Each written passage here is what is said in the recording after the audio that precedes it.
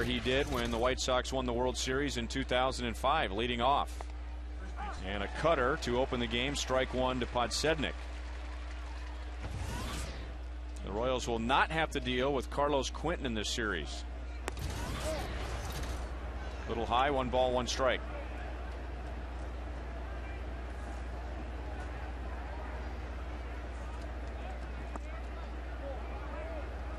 Two and one. Beautiful night. Temperature close to 90 in some parts of Kansas City today. Three and one to Podsednik. Right now, 85 degrees. We started on time at 7:10. Time and temp brought to you by the parking spot.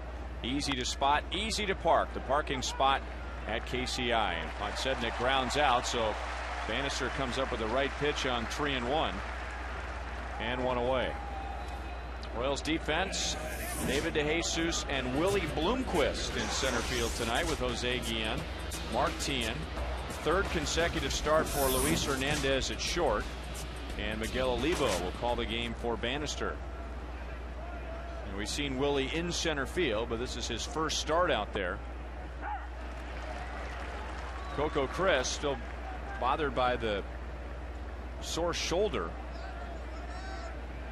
But it was Trey Hillman's decision to keep him out. Coco was ready to get back in the lineup, but after coming out of the game early on Tuesday, Trey gave him Wednesday off, yesterday an off day, and now a third straight day where he's not in the lineup. Well, Trey pretty much uh, said he took it out of his hands. He basically want to make sure that he doesn't have a, a situation where he may lose him for a long period of time. So he's just going to take him day to day, and then they'll make that decision on that basis.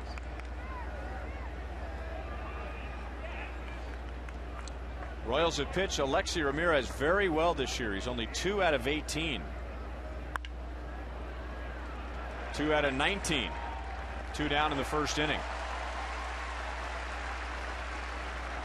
So two ground balls from Brian Bannister and now Jermaine Dye. Well, you see Rusty Kuntz there. He's the outfield coach, Ryan. He's really doing, he's going to have to pay a lot of attention to Willie Bloomquist in center field today. So he's going to be up on that top step. Rusty, you know, just I mean, uh, Willie knows exactly where it is between on every hitter.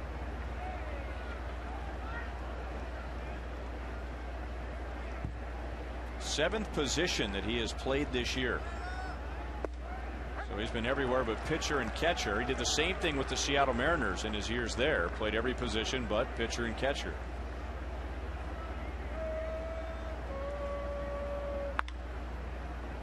Oh, and 2 on Jermaine Dye, former Royal earlier this year, hit his 300th career home run.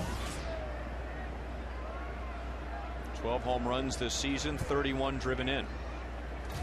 Well, I had a talk with uh, Jermaine and Jim Thome both before the game, and I asked him about those milestones. Uh, I asked him if there was any additional pressure when you know there's a milestone coming, and he said the basic pressure is you, it's hard not to know about it because they're writing about it a lot more, they're talking about it a lot more. They mention you with different icons that, that you come that you've read about and played against. And he said the biggest pressure though comes from trying to get it over too fast. So the approach changes. You do something different than what got you there in the first place. That's true. And he also went on to say that uh, Ken Griffey Jr. is probably the the most mild mannered guy when when it's coming into. Uh, Bloomquist goes all the way back in center, and Jermaine Dye has hit his 311th home run of the year.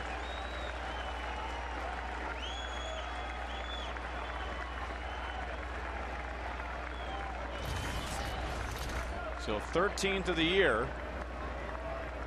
And the White Sox lead 1 0. Uh, this is Jermaine Dye's 53rd home run here at Kauffman Stadium, and uh, he left a cutter right out over the middle of the plate, and Jermaine really, really hit the ball well. And you mentioned the temperature, Ryan, being somewhere around the high 80s early, and now the ball is starting to travel a little bit better as it gets hotter. But uh, this is this is not a bad thing right here. That's one run, and uh, it, as long as you don't walk anybody in front of these guys, you're still in the ball game. Comes back with strike one on Jim Thome. Who continues to move up the all-time list in home runs with 549. He is 13th all-time. He passed Mike Schmidt earlier this year.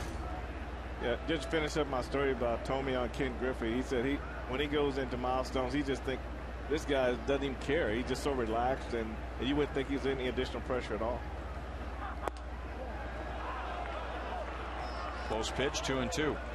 Well, a nice shift on uh, Jim Thome and Alberto Callaspo is probably 30, 40 feet out in in the uh, in right field. And Billy's a little bit closer to the line against Thome. Anderson comes back, strikes out Thome after the home run given up to Jermaine Dye.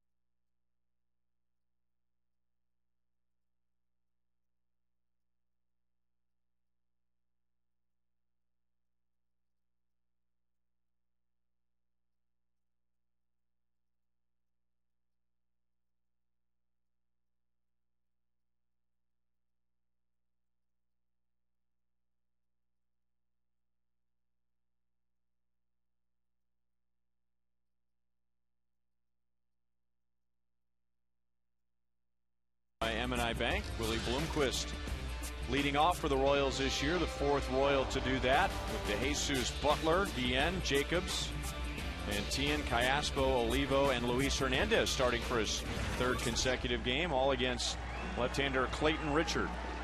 Well, Ryan Clayton Richard's got a 96 mile an hour fastball, so he, he does like to mix it both sides of the plate. But uh, opponents are hitting 226 first time up. And second time around, now that's a big one. 351 second time through the lineup. 91 with a fastball on Bloomquist.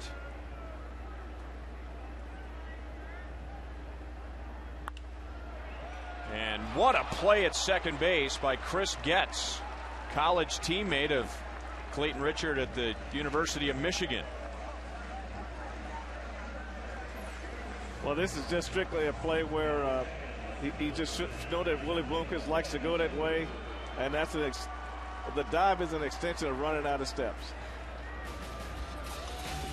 Rest of the White Sox defensively, Podsednik, Anderson, and Dye in the outfield with Fields, Ramirez, Getz, and Konerko.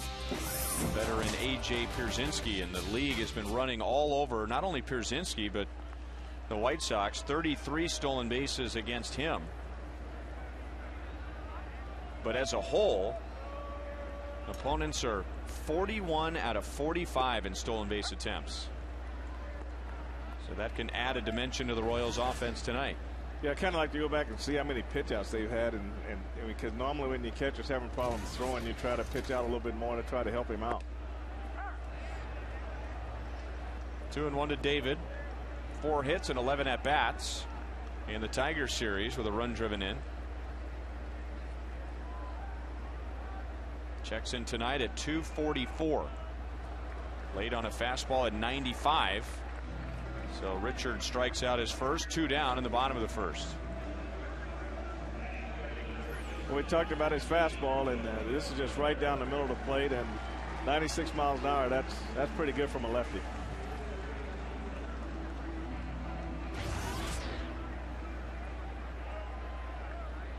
Just making his third start and was moved into the rotation when Jose Contreras was sent to the minor leagues. One ball, no strikes on Billy Butler. So that's actually a break for the Royals, even though Contreras hasn't had a good year. He's one of those guys that seems to always do well against the Royals. Royals won't have to face him. Well, he does it. Contreras is one of those guys that changes speeds very well, and, and usually that gives a lot of hitters problems. And uh, you know the fastball, 95, 96, hitters can get used to that, but it's that change of speeds that gets them off balance. Two and one to Billy. Three hits and an RBI against the Tigers. Clayton Richard played baseball and football at Michigan. His second year with the Wolverine football team, he threw 15 passes, but in his next year decided to concentrate on baseball exclusively. But he is quarterbacked in the big house. Billy fouls it away, three and two. Well, you can see why the San Diego Padres asked for him in that trade if they had gone through for Peavy. I mean, you see a left-hander that throws 96 miles an hour. You got to look at him, especially if he's in the strike zone. And after being rumored to be a part of that trade, Clayton Richard came out on Saturday against Pittsburgh and threw six shutout innings and struck out eight. That's under the glove of Fields and cut off before it gets into the left field corner by Podsednik. He ruled a single for Billy Butler and a runner at first with two outs. But what Josh Fields does right here, he starts retreating on this ball, and the ball played him. He should have attacked this ball and made this hop shorter, and it would have been an easier play for him. Once he starts going backwards and got to the side, he, he was at the mercy of the ball at that point.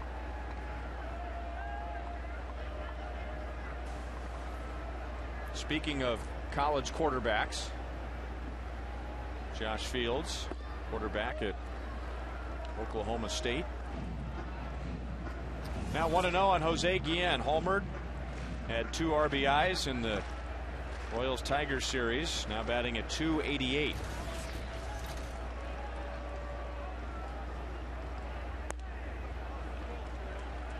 About 10 days ago, the White Sox starting rotation was really struggling.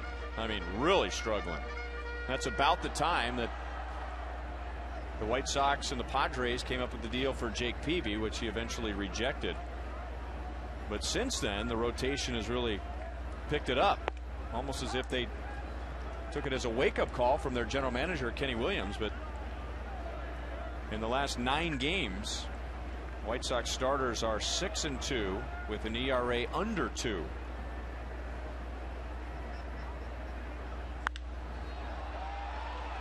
Into center. Brian Anderson waits for it to come down. And the inning is over. Two out single for Butler. No runs for the Royals in the first.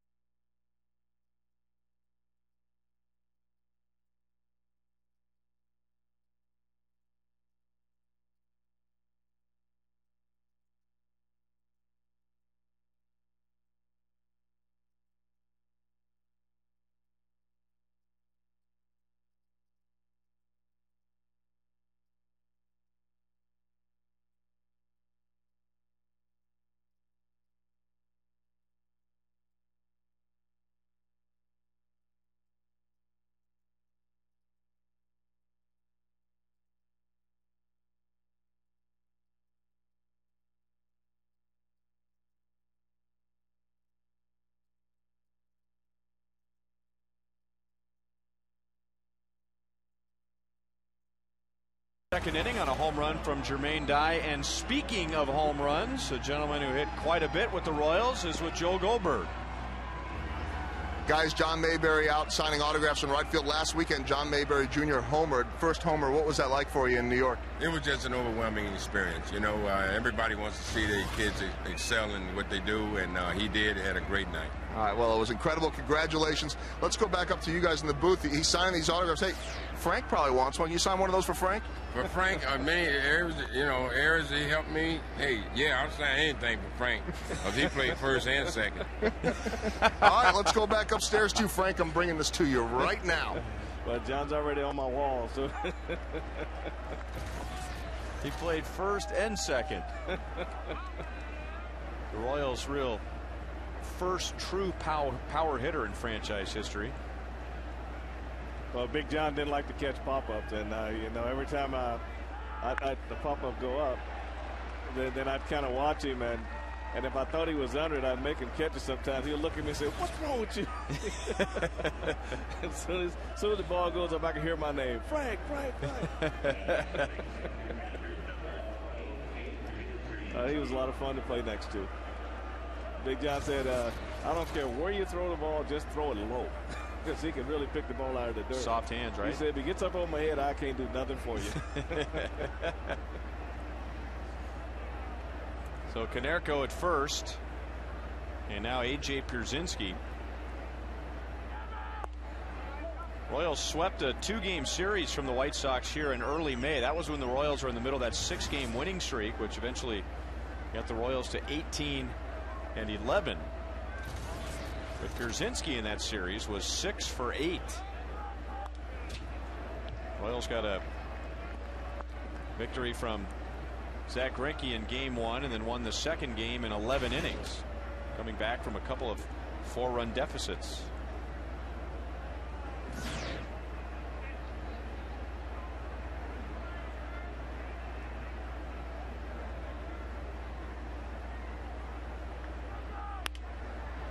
Through the right side.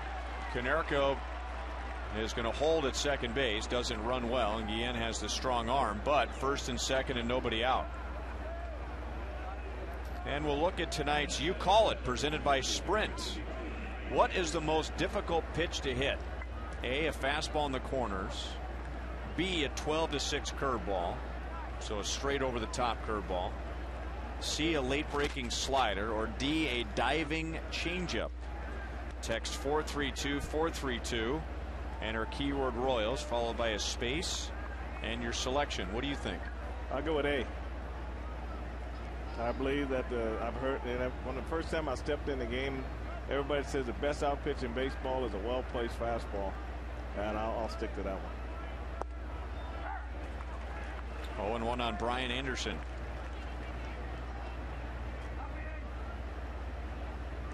And you? Me? You. I like that one that's just sitting right there on that batting tee. when it counts 2 and 0 and 3 and 1 right there. Give it to me right there.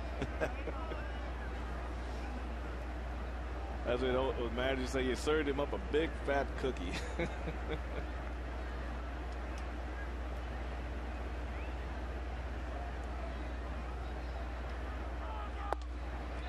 0 2 to Anderson. Well, having never really played professional baseball, unless you count part of one short season, I remember the adjustment, biggest adjustment from high school to college was the guys started throwing changeups.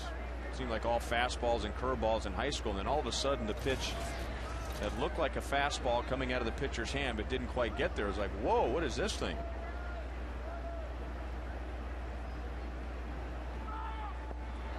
Banny comes back with a strikeout. So Anderson does not advance the runners. Second strikeout for Banny, one down in the second inning. Well, this is a, this is a really a great curveball right here. I mean, threw it in a good spot, and the mind of the hitter, he's thinking about hitting the ball the other way, see the ball going away, and all of a sudden it dives down on him, and he just says, "Whoop, it's not there anymore. Time to go." That brings up Chris Getz.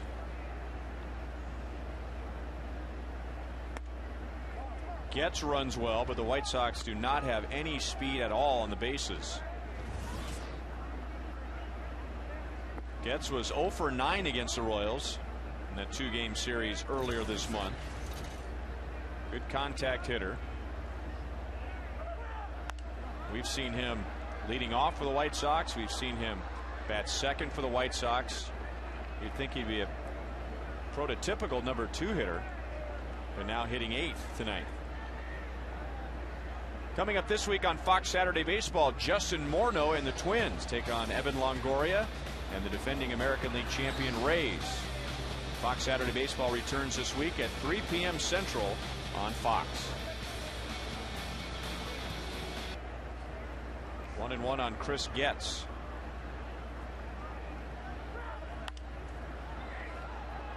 One and two. But you have some guys, Ryan, they don't they don't run very fast, but in certain situations they always end up in the play. But you know, AJ Pierzynski is one of those guys with the Royals not holding him on. He has that uncanny knack of getting down there and breaking up double play.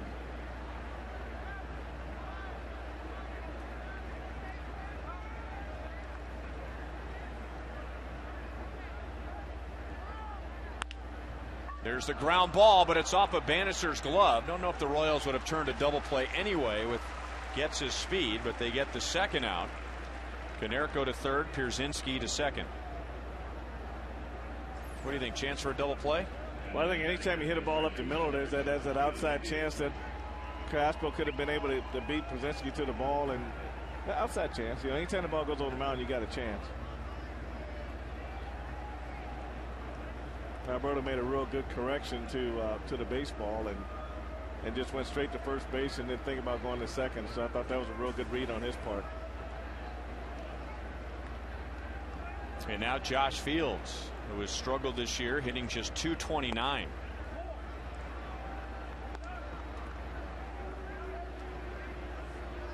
Fields taking over full time at third base this year with Joe Crede moving on to the Minnesota Twins.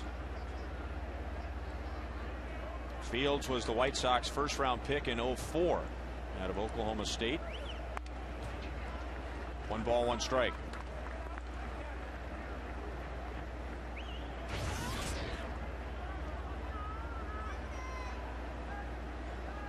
And strikeouts have not only been an issue for him with two outs and runners in scoring position, but in all situations. He has the sixth most strikeouts in the American League 48. Behind the fastball, and it's one and two.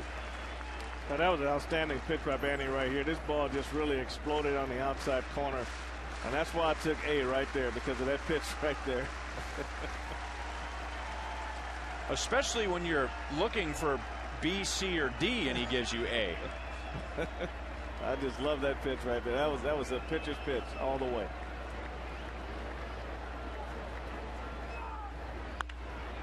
Pounded to deep left field. Back goes DeJesus, and Fields hits the top of the wall. That'll drive in two more. So Fields, as they say, going down and getting it, and Chicago has an early three to nothing lead.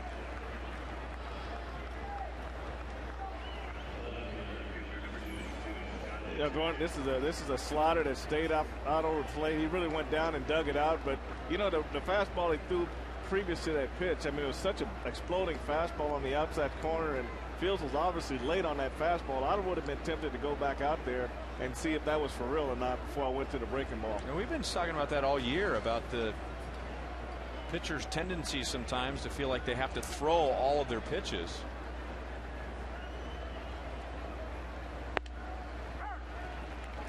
Now 0-1 on Podsednik. He grounded out his first time up. I think if was a breaking ball that could have got on the outer half down, it might have been a different story. But I, I always feel like when you beat someone that bad with a fastball, then you got to come back and, and see if it's real or not. Off the plate. Tough play for Banny. And Butler comes off the bag.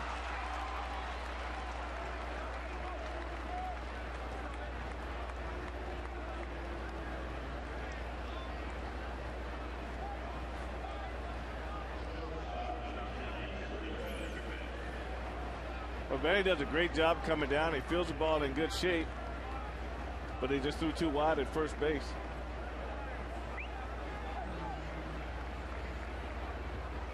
An air charge to Bannister. You know, Podsednik runs pretty good and hit that high chopper like that, so it's going to make everybody speed up a little bit, and that affected Bannister to first base.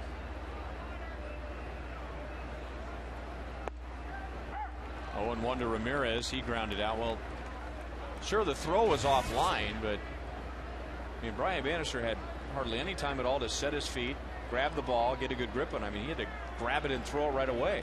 But the, the degree of difficulty was definitely high on that play. Speed, speed will make make you do those things.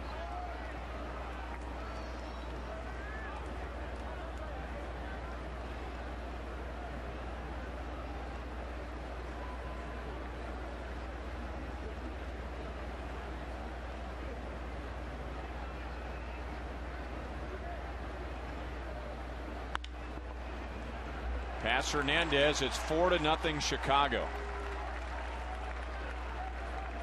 So Bannister almost got out of it. Gave up singles to Konerko and Pierzynski, but a strikeout and a groundout. And he was ahead one and two on Josh Fields.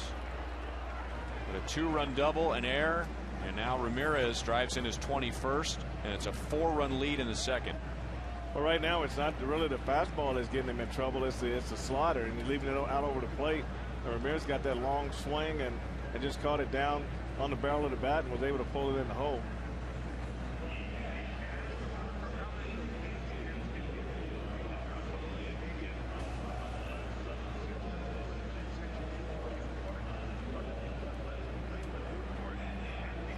This has not been a good matchup for Bannister in his career. It's his first start this year against Chicago. The 10th of his career. He's only had five decisions, two and three, but his ERA against Chicago, and it'll go up. But coming in tonight, 7.66. Now Jermaine Dye, who homered to center field in the first inning. And Olivo has to dig that one out of the dirt. Well, this is back in the first inning right here. He just leaves a, a, cutter right out over the middle of the plate, and that's like a golf shot right there, straight away center field.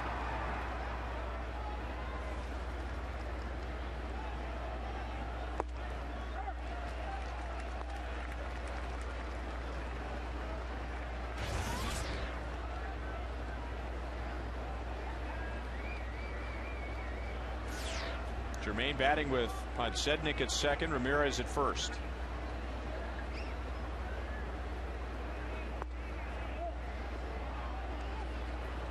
Podsednik back in plenty of time. That home run from Dye reminded me of the home runs that he hit when he was with the Royals and the approach from then batting coach Lamar Johnson, which really got him going and telling Jermaine, don't try and hit home runs, try and hit doubles. And sometimes if you hit a double just right, it'll sail and become a home run. Well, Lamar had a real good simple approach to hitting, and he, he tried he tried to keep it real simple and and and uh, I think hitters learn faster when you're not too technical and you just give them one goal and, and let them stick with it and and see how it comes out.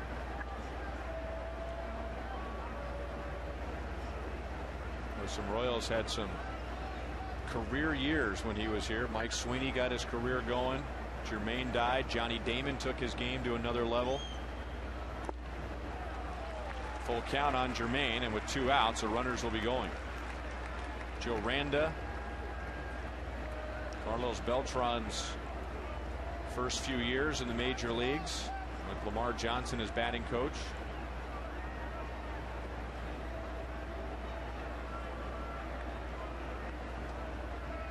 Podsednik and Ramirez are running. And Dye fouls it away.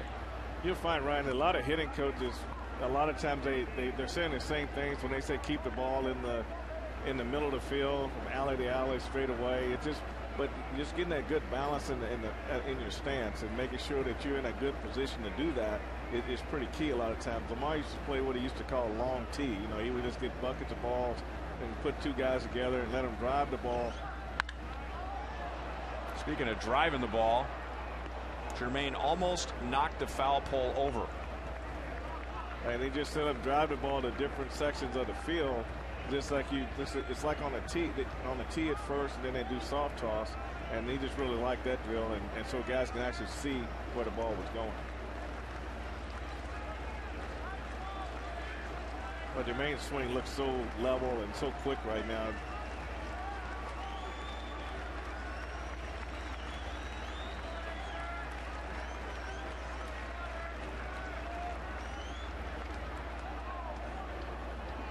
Trying to get an out on the bases.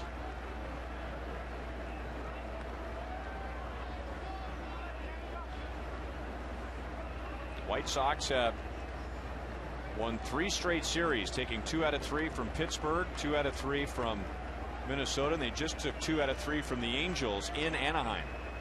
And they, like the Royals, had an off day yesterday. Guy grounds it to deep third. Teahen, with one foot on the outfield grass, is right on the money to Butler. But the White Sox get three. Fields drives in two. Ramirez drives one home.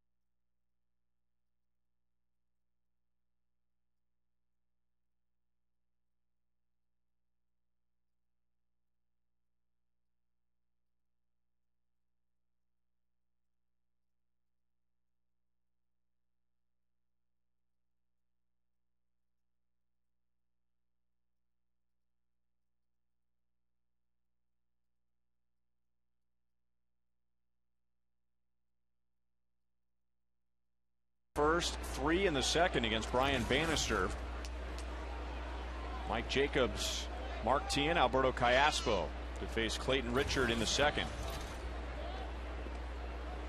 Richard did not have a good start when he was initially moved into the rotation, but he has pitched very well in his last two. Only given up one earned run in his last 14 innings. One and one on Jacobs who was just one for 10 against the Tigers. Adding at 257. Leading the Royals with those nine home runs. Here's tonight's league leaders brought to you by your Kansas City area Toyota dealers and those nine home runs third best in the American League for players with a new team. Mark Teixeira, man, his, his season turned around in May when Alex Rodriguez came back. And Russell Branyan, who has been with several teams, hoping that he could be a little bit more consistent making contact with his great power. 11 home runs with the Mariners, and then Mike Jacobs with nine. Strikes out. Second for Clayton Richard, one down in the second inning.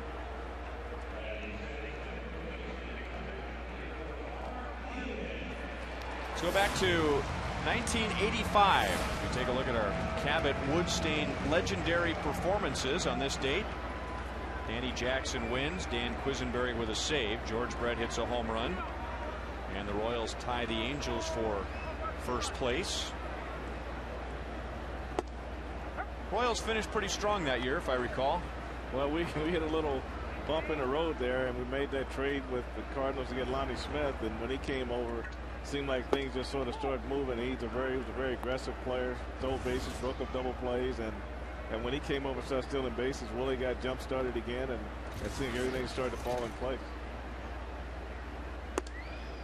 Lonnie Smith had a stretch in his career where it seemed like everywhere he went, a championship followed, didn't it? Oh, it was unbelievable. Uh, he doesn't have enough finger for his rings. but he was a hard-nosed player, though. I mean, he could break up double play with the best of them. I mean, he was actually dangerous when he went to break up double plays.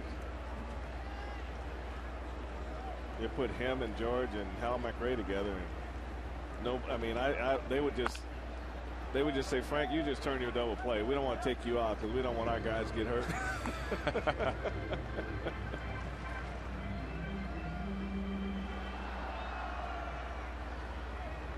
Teahen four hits, a home run against the Tigers. Also had a costly error in the game on Wednesday afternoon.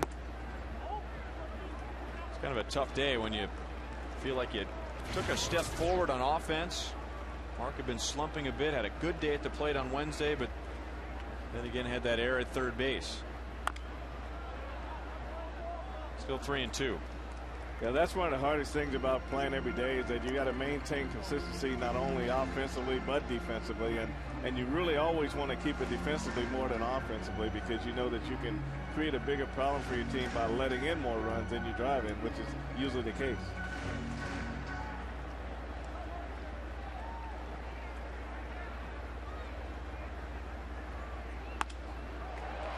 into left center. So nice inside out swing and the Royals have a base runner with one out in the second inning. Second hit against Clayton Richard. A lot of times as hitters you want to get out front and you want to hit the ball before it gets there but uh, Mark really hit that ball about the trademark and you can get a good look at it right here and he just let the ball get in on him a little deeper and you can get a lot of hits that way rather than trying to get out too fast and now you're more susceptible to the fastball and breaking ball away. And now Callaspo.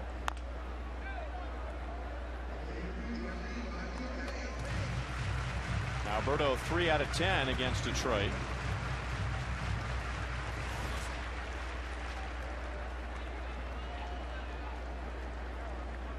Alberto hitting a little better than 150 points better on this side of the plate.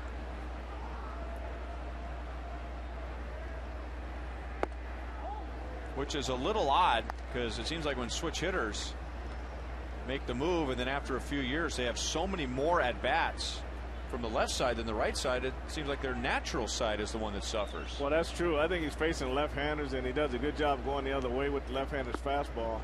And and I think that's what helps him just serve the ball out in the right center field. To me, he swings a lot harder left-handed than he does right-handed. A little more, a little more uh, body control and back control when he's batting right-handed. Second toughest in the American League to strike out. And Richard comes inside at 94 miles an hour, two and two.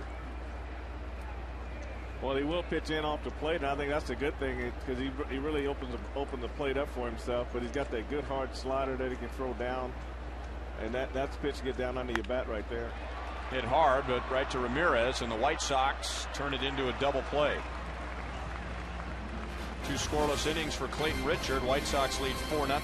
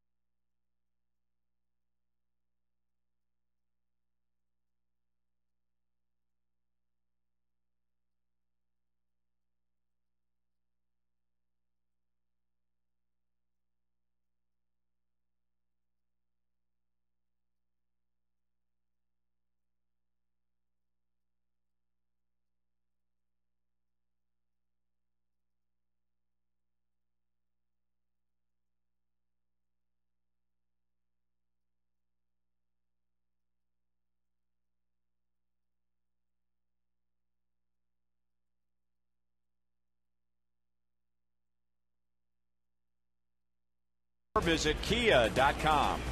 And by AT&T, switch to the nation's fastest 3G network. AT&T, your world delivered.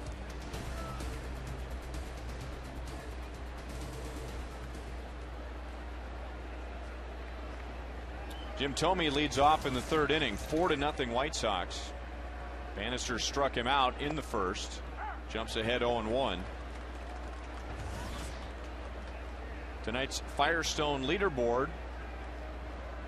Active career home run leaders. Ken Griffey Jr. at 616. Alex Rodriguez second. And the man standing up there now, Jim Thome at 549.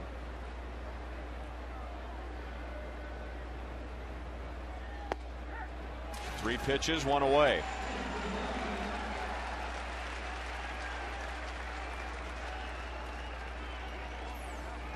Banny did a real good job setting this cutter up. He threw a slider down underneath uh, Jim Thome's swing, and then he came back with a backdoor cutter on the outside corner. So that's a great job of pitching to Jim Thome right there.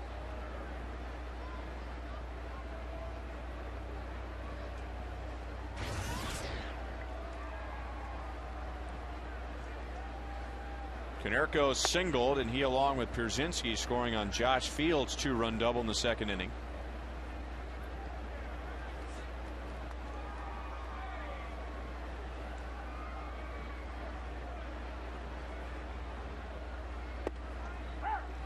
One and one.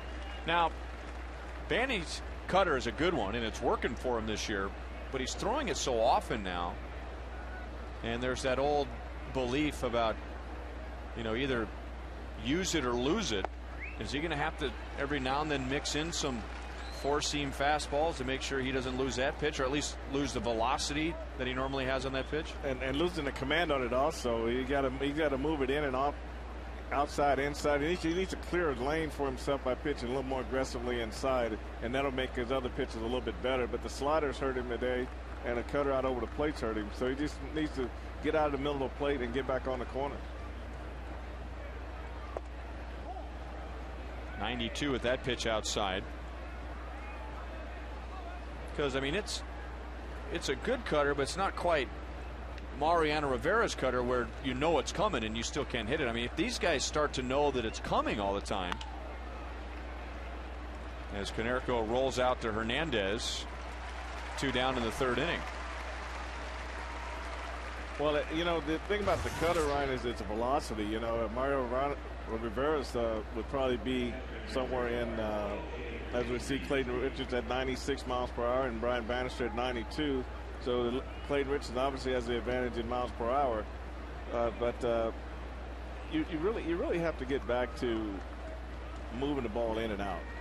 And I just don't see uh, Banny really attacking inside off the plate to set the cutter up at 86, 87 miles an hour. Or Rivera's is probably 88, 89 miles an hour, and it gets in there a lot faster.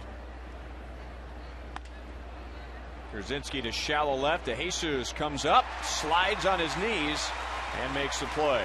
Bannister retires the White Sox in order for the first time tonight.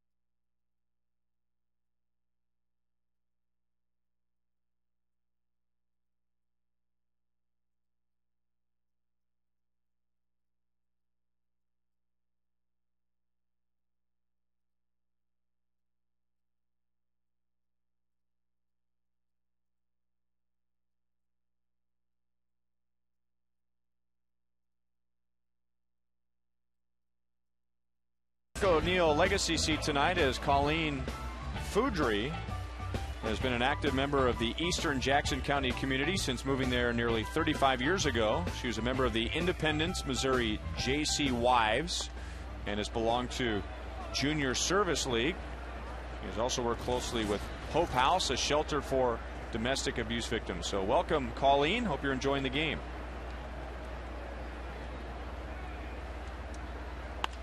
Miguel Olivo, a bullet to the second baseman Getz. The Royals have lost two base hits in that part of the field tonight. Getz made a great diving play on Willie Bloomquist's line drive in the bottom of the first. That brings up Luis Hernandez.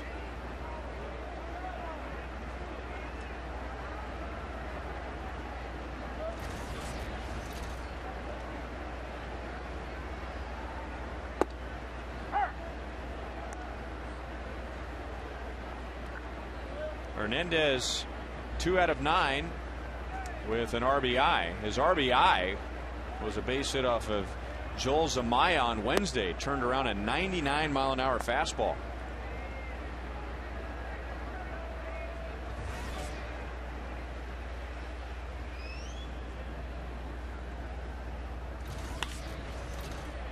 Getz again on a well hit ball. Two down in the bottom of the third inning.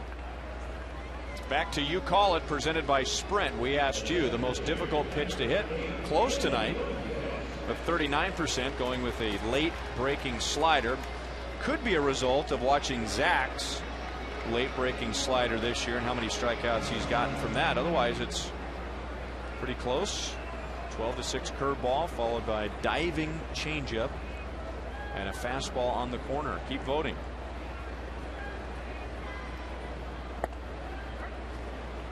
0-1 to Bloomquist. Zack will start on Sunday afternoon. Gil Meche goes tomorrow.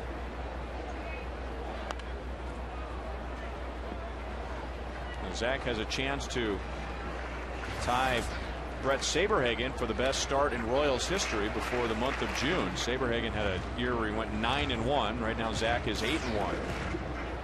And two of those wins against the White Sox. Bloomquist fighting to stay alive.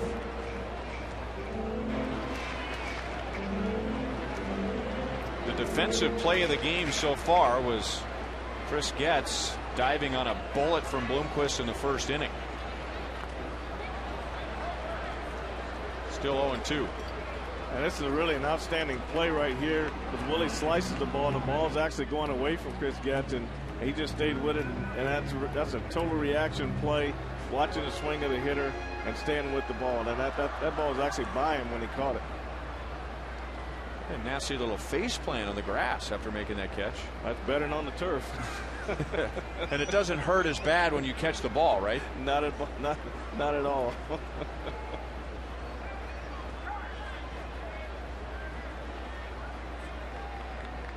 So Willie, at least tonight, taking over completely for Coco Crisp leading off and playing in center field. That is a nasty pitch. Three strikeouts for Clayton Richard and three scoreless innings.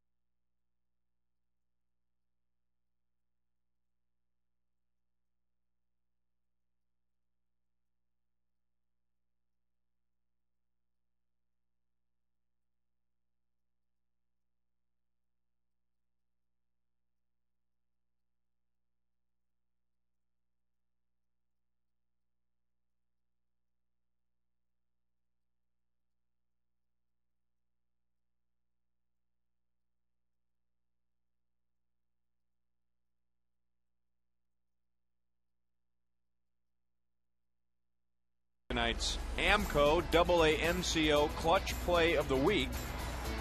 Zack Greinke winning his eighth, fifth complete game on Tuesday, beating the Tigers six to one. One run, six hits, no walks, eight strikeouts. And he will pitch again in this series on Sunday. As Anderson hits it past Teahen into the left field corner, Anderson runs well. DeJesus went sliding into the corner to make sure it didn't get by him. It's a leadoff double for Brian Anderson. He's one for two. Again, this is another breaking ball, right? It's right out over the plate and right inside the bag. David did an outstanding job here. This ball gets by him. It's trouble. You know, it gets underneath that, that uh, padding there and goes down in that corner. Maybe David wasn't left-handed. Might have been a very difficult play for, for a right-handed thrower.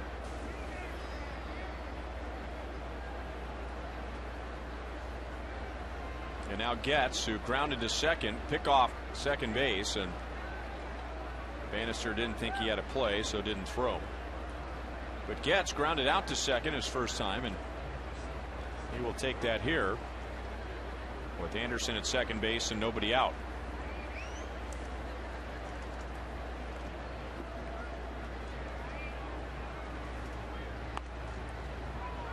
Back to Bannister, and the Royals are going to have Anderson in a rundown. Anderson did stay in long enough for Chris Getz to get to second base, and that keeps Anderson out of Ozzie Guillen's doghouse. Well, you, got, you just really switched places with him right there. But what made that play is Getz just kept, kept, running right out of the box. He never did slow down uh, going around first base. So 165 on the fielder's choice. So really, the only thing that could have changed on that play, Ryan, was once the ball went to Hernandez. Have gave it up right away to Martin and got everything coming back to first, there was a possibility of throwing the ball to second to get Getz and they're still having to run down between third and, and second base. And now Fields into right center. Ian runs it down. Getz will tag and advance to third. So two outs. Fields is one for two, but he has the big hit in the game tonight. With two on, two out, and two strikes, hit a two-run double to make it three to nothing, and now it's four nothing. Three-game series of the White Sox continues tomorrow at 6:10. Gil Meche against Mark Buehrle. Coverage begins at 5:30 with Royals live. And the final game at 1:10 on Sunday.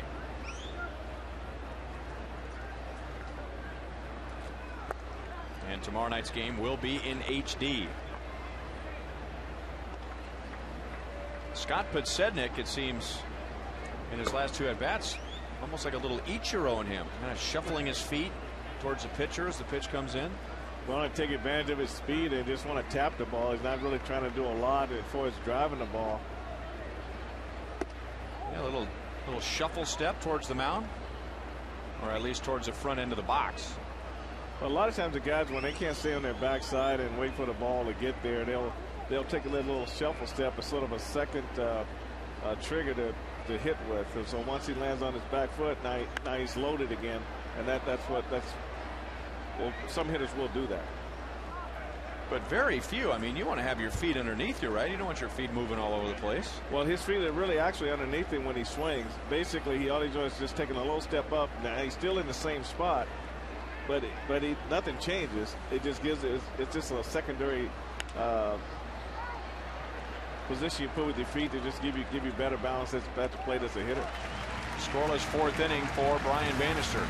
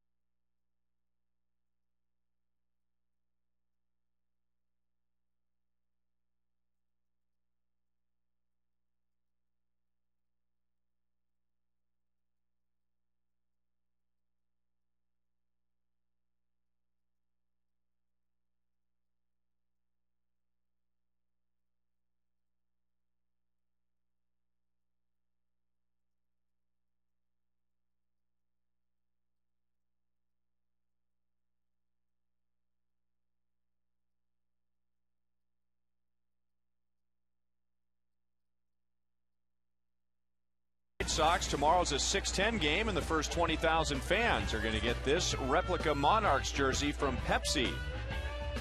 Gates are going to open at 3 o'clock, so come out early. Check out the new outfield experience if you haven't been to Kauffman Stadium. New Kauffman Stadium this year. And as part of the salute to the Negro Leagues tomorrow, the Royals and the White Sox will be wearing vintage Negro League uniforms. So come on out tomorrow at 610. DeJesus struck out first time against Clayton Richard, and now he's down 0 2.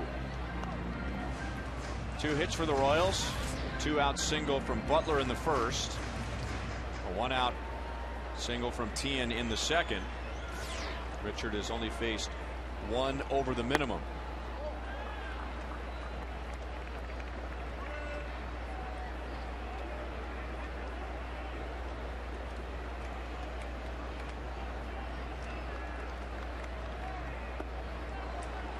With a breaking ball, four strikeouts.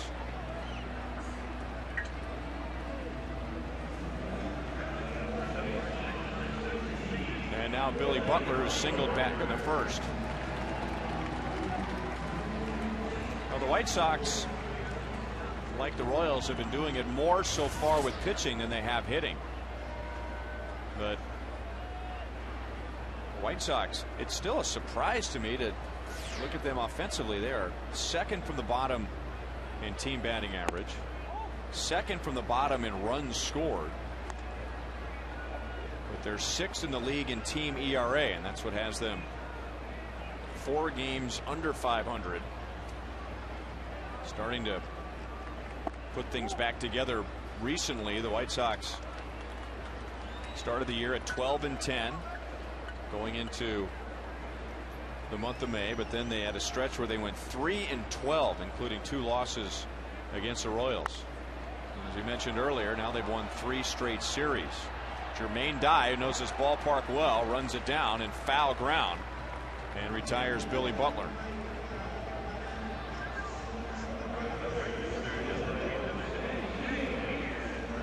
I think a lot of the up and downs of the team in the Central as you watch Jermaine Dye make this play near the right field wall.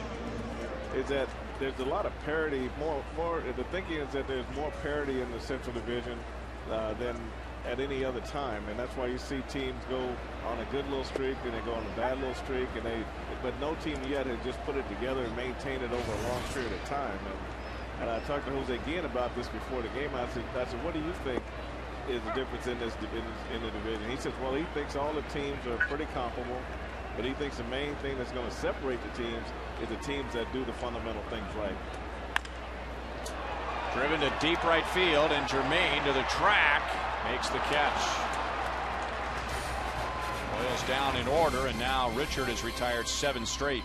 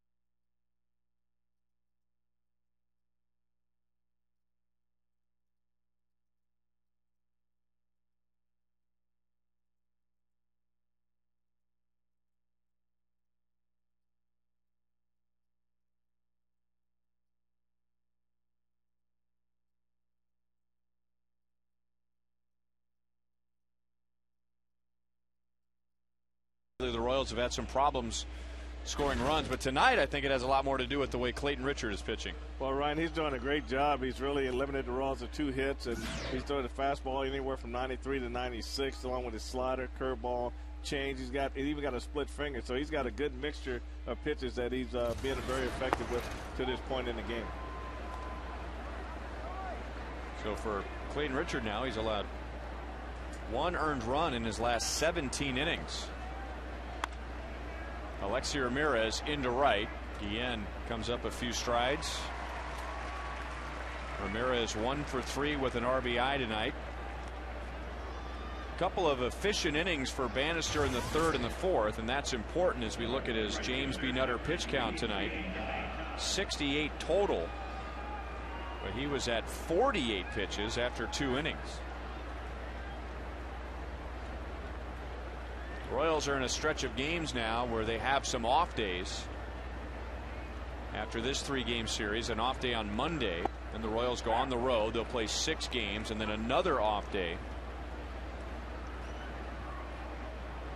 But with that being said, Trey Hillman will never argue with a starting pitcher going seven or eight innings.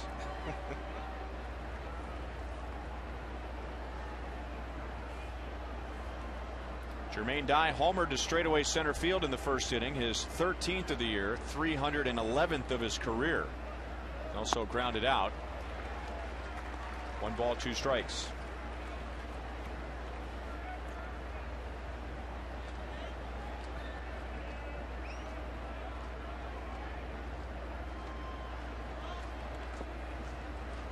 Two and two.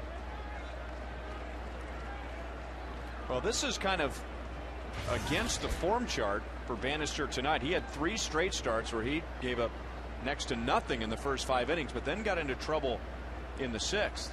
And tonight, giving up four runs in the first two innings, but now kind of hitting his stride in the last two. Well, that's true, and I, I, think right now he's doing a better job of getting a cut on the outside corner, fastball on the outside corner, but still, I think he really hasn't established anything inside to, to keep the hitters off that pitch, and that's why when you get to two strikes, they're able to go out there and foul those balls off and, and wait for you to make another mistake in, in, in the middle of the plate. So I think for these big hitters like Konerko, Jermaine, and Thome, I think he's got to throw the ball inside to get those guys off those balls out over the plate. A walk to Dye with one out. That's Banny's first walk tonight. Jim Thome coming up. Banny has struck him out twice. Here's the strikeout in the third inning. Well, this is one of his best best hitters he, he faced tonight. He got the fastball on the outside corner, and then he came down with a slider down underneath his swing. And this is when he just came back with a backdoor cutter right on the outside corner. So that was a very effective at, uh, pitching duel against against Jim Jim Thome, if you want to call it a duel. And he breaks his bat. It's over Hernandez. Didn't hit it very hard. So Willie has a ways to come in to get it, and Dye will go first to third. So Thome one for three, and White Sox again putting a rally together with Paul Konerko coming up. Uh, one thing you didn't want to do in, in the middle of this order is walk in and want to uh, bring someone up with a possibility of hitting a, hitting a two-run homer, but here they got a first and third situation, you know, preceded by a walk. After a walk, sorry. And now Konerko, who is a double play candidate, grounded into four so far this year. Tonight, a single and a run scored in the second, a ground out to short in the third. Dye homered in the first. Fields hit a two run double in the second. And then later in the inning, Alexei Ramirez driving in a run with a single.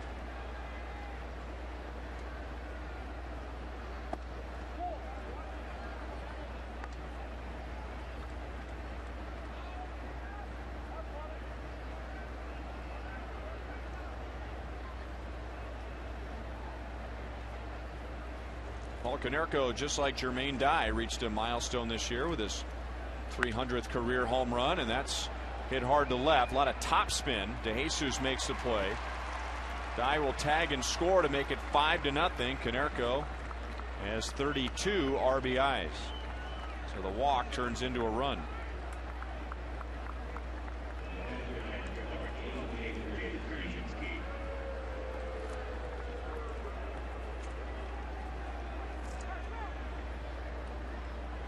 Two down to AJ Pierzynski and for the second time tonight AJ or rather Sidney Ponson is warming up in the Royals bullpen. You know, right, I don't want to make a big deal about uh, Brian Bannister not pitching inside, but that pitch to was away, and because it, everything's away, he was able to go out there and hook it back to left field, you know, for for a sac fly. So if you're not gonna, if you're going to pitch in that one quadrant all night, then you got to make some real quality pitches to survive there.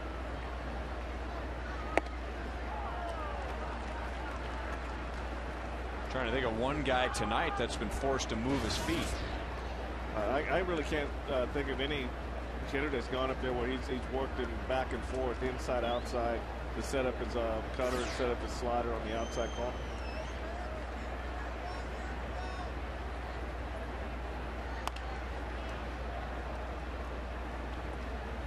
Behind Harold Baines, former great White Sox outfielder and designated hitter. At number three, was retired by the White Sox when Harold Baines moved on to the Baltimore Orioles, but then was unretired when Harold joined the coaching staff.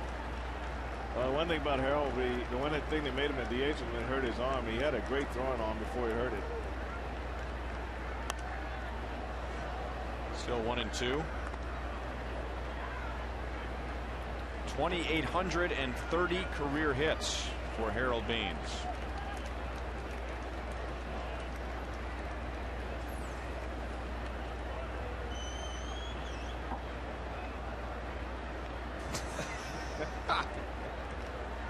So you want a baseball, huh? Sox done in the fifth, but they add a fifth run.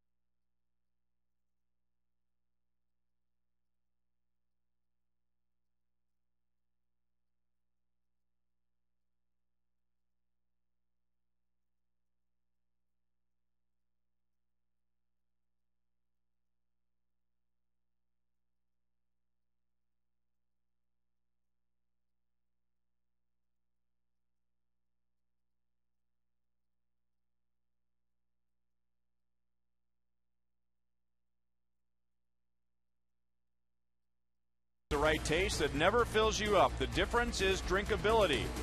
And by Colorado Tourism, plan your summer vacation at Colorado.com. Ryan Lefebvre with Frank White and Joel Goldberg on a nice warm night in Kansas City. But a tough night so far for the Royals, down five to nothing. And Paul Konerko with his hands out at his sides. That that can be confusing there. You can't tell was he calling it off or did he not see the ball? Well, normally when he's out to the sides, it means he doesn't see the ball. So that.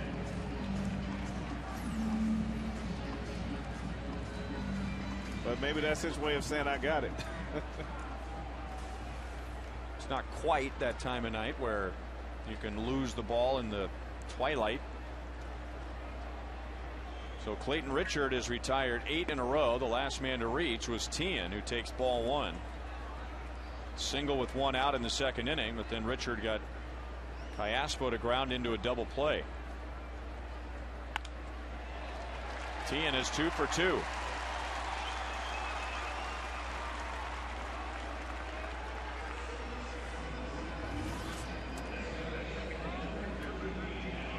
Well, it's starting to feel like summer, and it's time to get a Royals beach towel from Hy-Vee. Doc Carruthers, our stage manager, is going to demonstrate. First 20,000 fans are going to get this great summer accessory. It first begins as a kind of like a beach bag, and then you open it up and it becomes a beach towel. That's coming up on June the 13th against the Cincinnati Reds. Now that is an original promotion. I haven't seen that one before. I like that. The, the key is can you ever get it back to being a bag?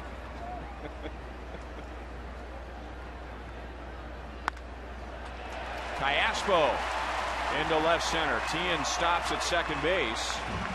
And for the first time tonight, the Royals have more than one base runner in an inning. Callaspo one for two.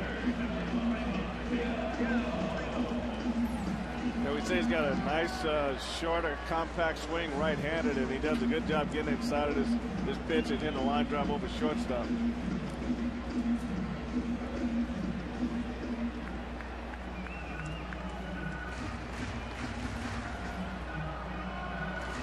Two on, one out for former White Sox catcher Miguel Olivo. Originally from the A's organization, but made it to the big leagues with Chicago. Takes a fastball for strike one and became the 83rd player in Major League history to home hit a home run in his first Major League at bat. With the White Sox back in 0-2 hit it off of Andy Pettitte. To third, Fields out at second, gets to Konerko, and that's the second double play for the White Sox tonight. The end of five, 5 nothing Chicago.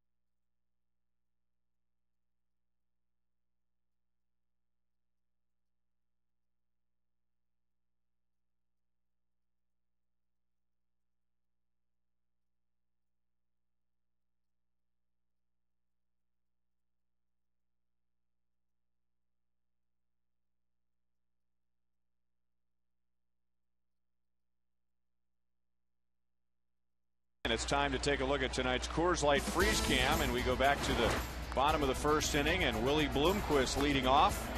Thought he had a base hit into right field until Chris Getz came out of nowhere, made the catch, face plant onto the grass.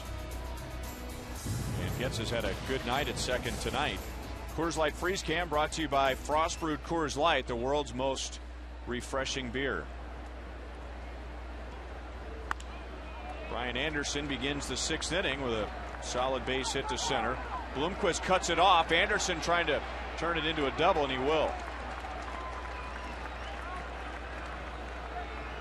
Second double the night for Brian Anderson. He's two for three. Uh, this is a, this is another slider line that really stayed over the plate, and uh, Bannings keeps going in the same area and the White Sox hitters are going out there. Here, Bloomquist is going to right center field, has to do a 360, and he reads that, and he knows there's got to be a good throw to throw him out at second base.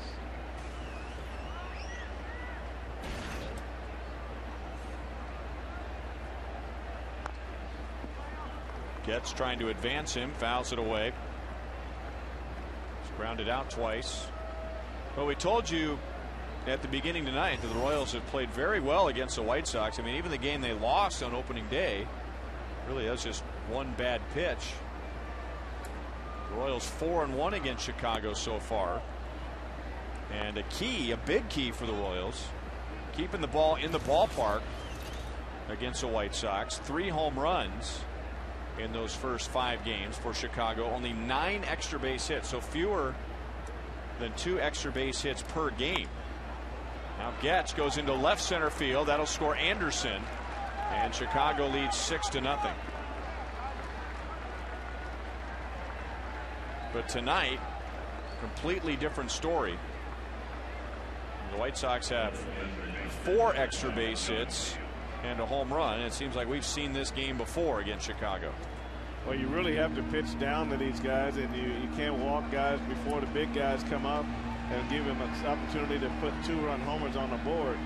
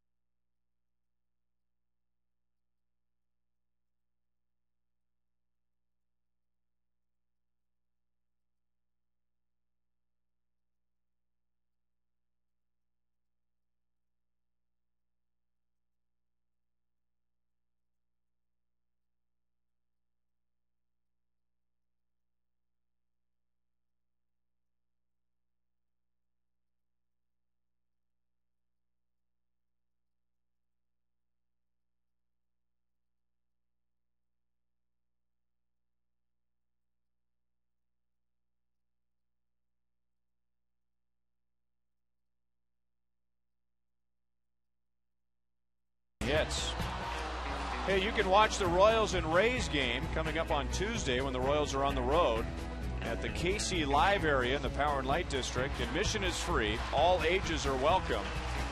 And everyone has a chance to win great prizes. Pre-game starts at 5 o'clock, so head out to the Power and Light District for a fun time with Slugger and Royals fans coming up on Tuesday. So Sidney Ponson comes on a run home in this inning. And Chris Getz at first, nobody out, facing Josh Fields.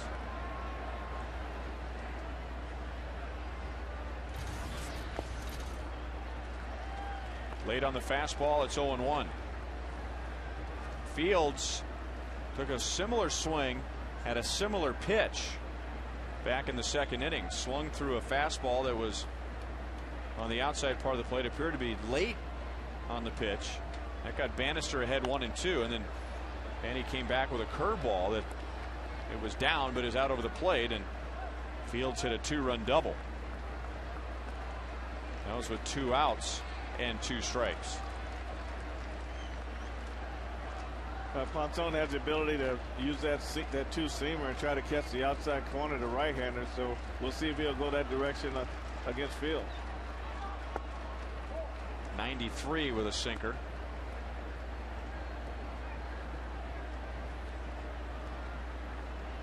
Josh Fields facing Sidney Ponson for the first time.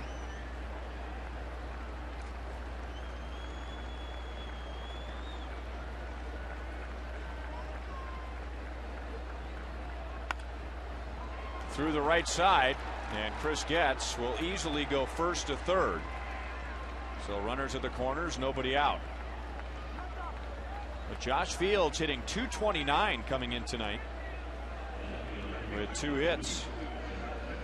But again, Ryan, that was really too easy right there. Every pitch is on the outside part of the plate, and and the and the raw pitches tonight have really just carried the White Sox hitters right out there. So he hit that ball pretty much like he was looking for. And so they're really going to have to start coming in off the plate to establish that pitch away and maybe try to finish some White Sox hit us off hard inside with the fastball. Well, nobody has moved their feet yet except for Podsednik, but that is his own doing. well, well, Ponson likes to bring that that uh, two seamer inside the lefties and try to catch the inside corner and throws it kind of at the waist or just above the knees and, and get him to move back and give up on it. Up the middle, past Callaspo, and Callaspo and Hernandez collide. So we've gone from first to third to first and third to first and third in this inning. It's seven to nothing Chicago Podsednik his first hit and his sixth RBI of the year. Well, he got his ground ball, which what he was looking for, but with the infield, not just not all the way in, but in quite a bit. What we call the three depth on the infield. He was able to get that ball over the bag into center field.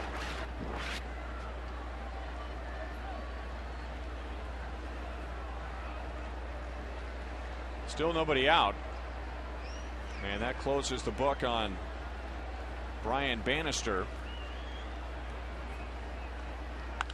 Ramirez into center field. It's eight to nothing. Podsednik is going to go first to third, challenge Bloomquist, and he's in safely.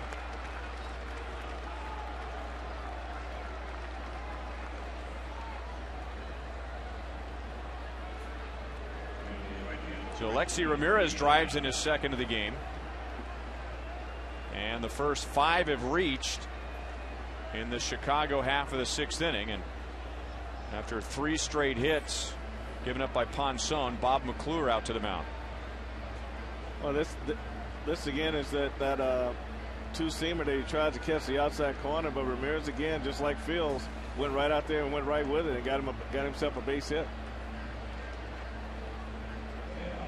We talked about those two seamers, Ryan. The ones that sort of slide across the plate in the strike zone, those are the ones that get hit on a regular basis. When Ponson's really on, his his two seamer flips over, and when it flips over, guys top it and hit a lot of high hoppers and a lot of weak ground balls on the infield.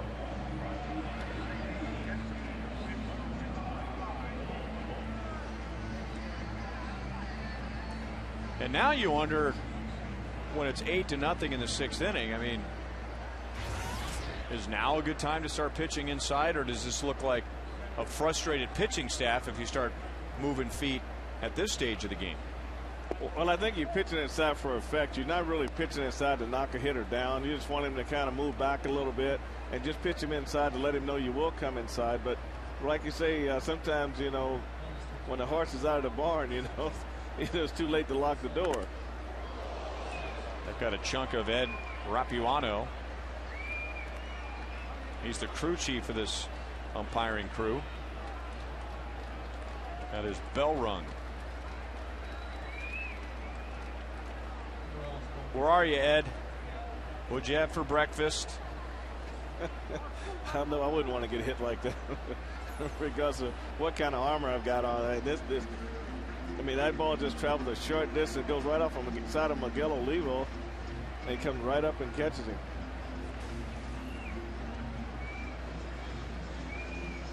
Miguel Olivo going out to talk to Ponson. I don't think he had anything to say to Sidney, just doing that in respect to the home plate umpire and give him a few more moments to pull it together.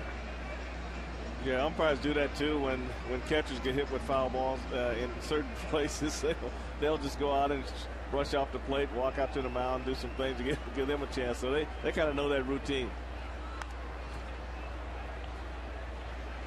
So only certain places, huh? There, there are other parts where you get hit and, and it's not worth going out and wiping down the plate? No, it's just certain places. Okay. There's more than one place now. That's a direct hit to the face mask. And off the, and others. Off the wrist. you know, off the shoulder. Blocked by Olivo, but Ramirez is going to move up to second base. The White Sox still playing hard with an eight run lead and nobody out in the sixth inning.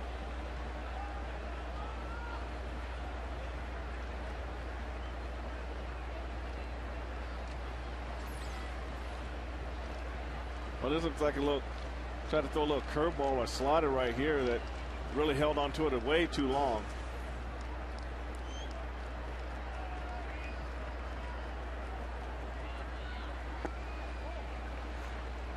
Three balls, two strikes.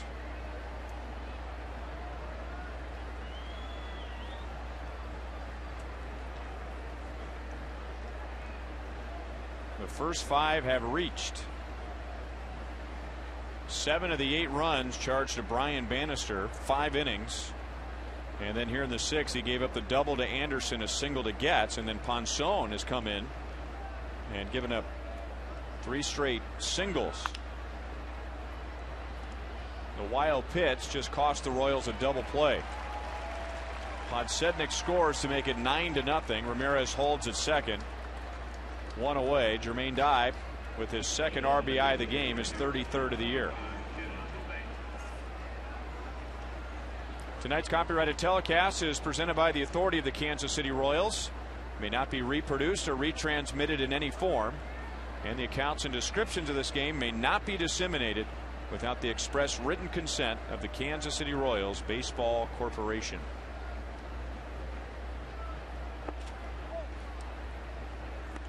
One to oh to Thome.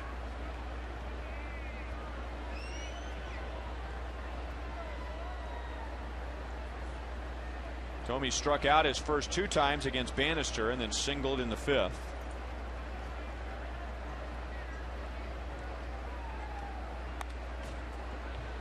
Pretty good swing, one and one.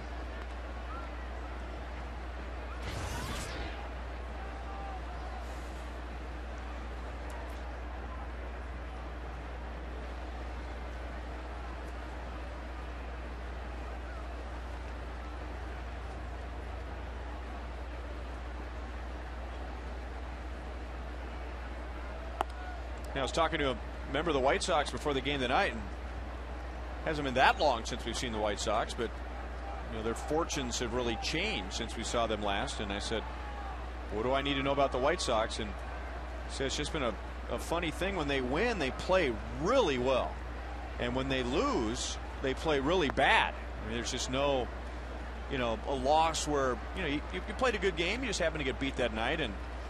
I was thinking, you know, that's kind of the way it's been going for the Royals lately. The Royals losing on Wednesday 8 to 3. They lost 13 to 1 on Monday. They were shut out in consecutive games last weekend in St. Louis. Thome takes a one out walk. On the homestand before this one, there was a a loss to the Cleveland Indians 8 to 3. And then the Royals wins Sunday in St. Louis. Well played game. Brian Bannister was pitching, winning 3 to 2. Willie Bloomquist with a hustling double, setting up the Mike Jacobs pinch hit RBI single. And then Zack Greinke and company in the game on Tuesday, winning 6 to 1. And you know, sounds like what is ailing the White Sox at the moment. It's the same for the Royals. Well, Ryan, I think fans want to see runs uh, just as much as they want to see pitching. I think if, if if the Royals were losing those games nine to seven, seven to five, you know, I think that fans like to see some action on the field. So when your team is not hitting, regardless of how well the pitching is, you really look flat. It's like you're just not playing very good baseball.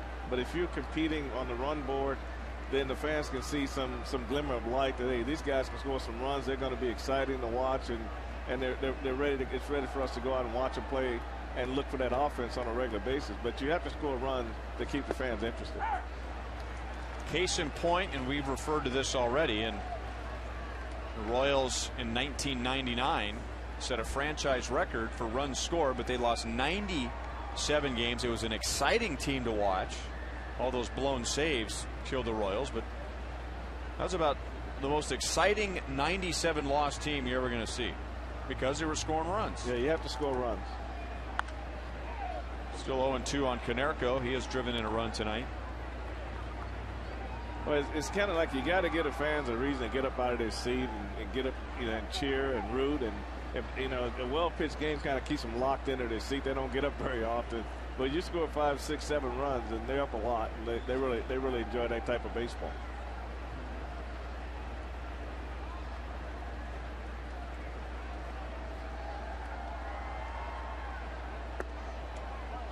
One and two on Konerko.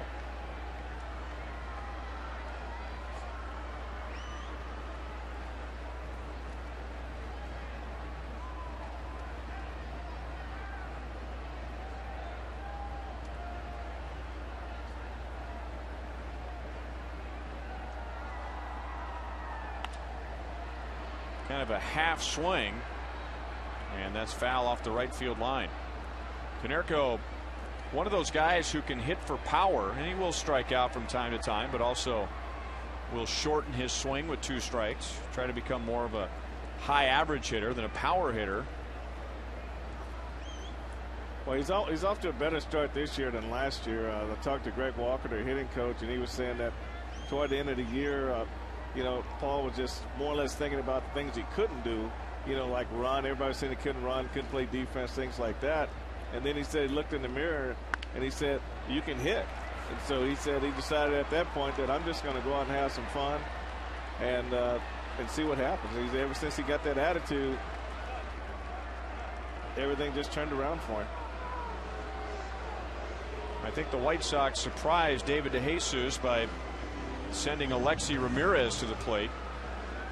Konerko with his second RBI, 33rd of the year. Well, a lot of times, uh, you know, players will get into the mindset of the other team, and a lot of teams in that situation might hold the runner up being such a, a big score on the board. But here you just got to come up and let the ball go.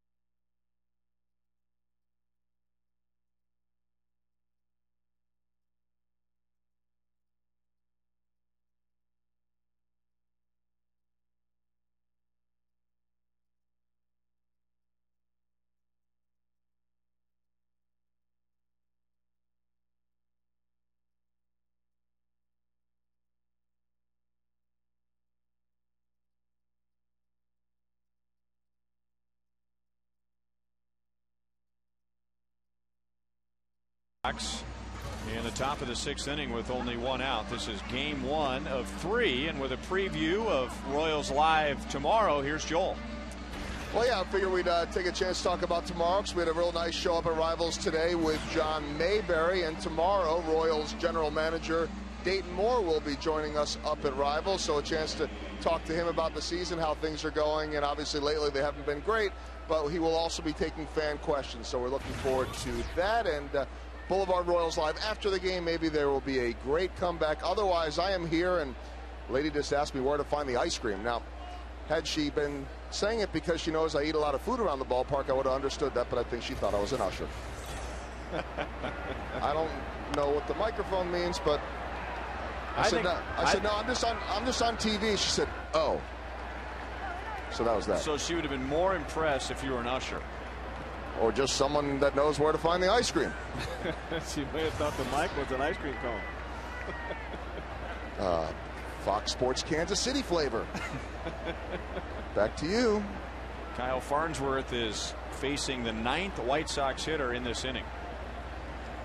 Chicago has scored five. 0 and 2 on AJ Pierzynski. And with a huge lead early in the game, this gives Ozzie Guillen a chance to rest some of his regulars. So DeWayne Wise, who was just called up when Carlos Quentin went on the disabled list, will run for Konerko. And Pierzynski over Butler and inside the right field line. Thome scores. Wise stops at third. Pierzynski has an RBI double, his second hit. Six runs in the sixth. The White Sox have batted around, making only one out.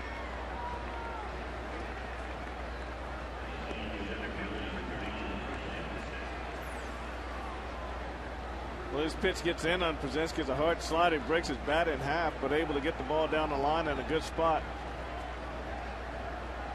And then again, with the lead being what it is, uh, Coxie at first base. Jeff Cox decided to score one run, but not not both of the runs. Well, that was nice of him.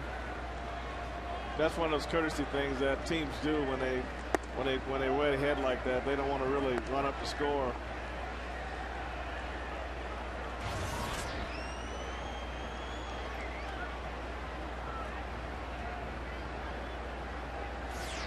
Brian Anderson started this inning with a double off of Brian Bannister and came around to score.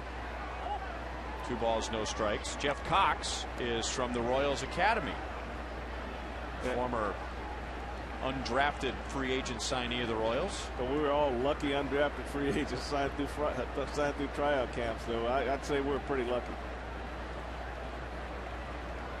Uh, Jeff was also a second baseman in the, in the Royals Baseball Academy.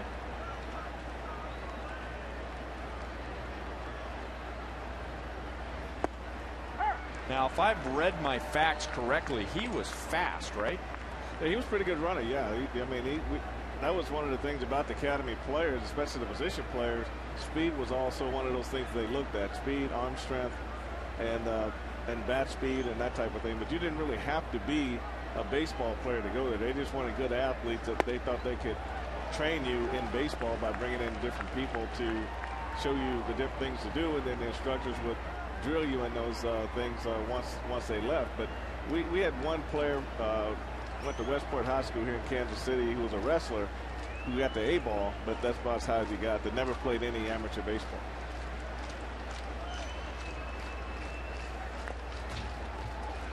And he would have been one of the guys that you talked about where if you get in a fight with another team, you want to take the wrestler out first, right? You don't want him to get too involved. Well, he wasn't. He wasn't a big wrestler. He wasn't. Oh, okay. he, wasn't he wasn't a heavyweight.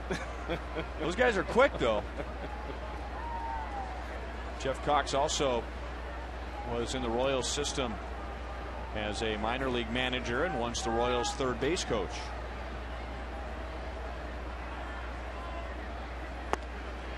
Farnsworth gets a strikeout and now Levo down to second base I think Pierzynski lost track of the outs. Wise to the plate. And the White Sox are just going to give the Royals a third out of the inning.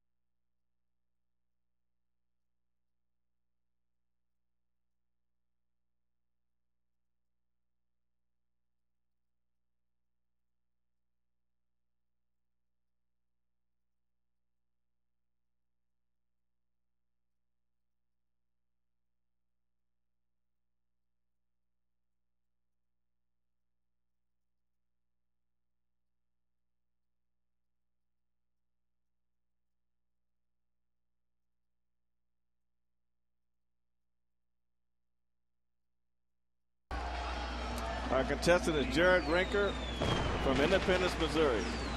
The Royals hit a home run this inning. Jared will win $1,500. But if the Royals hit a grand slam out of the park, Jared will win 25 grand from Sonic and the Kansas City Royals. Wilson Betemit takes over at first base. DeWayne Wise running for Paul Konerko. And then Wise stays in the game in right. So Betemit hits in Dye's spot. And Wise stays in the number five position.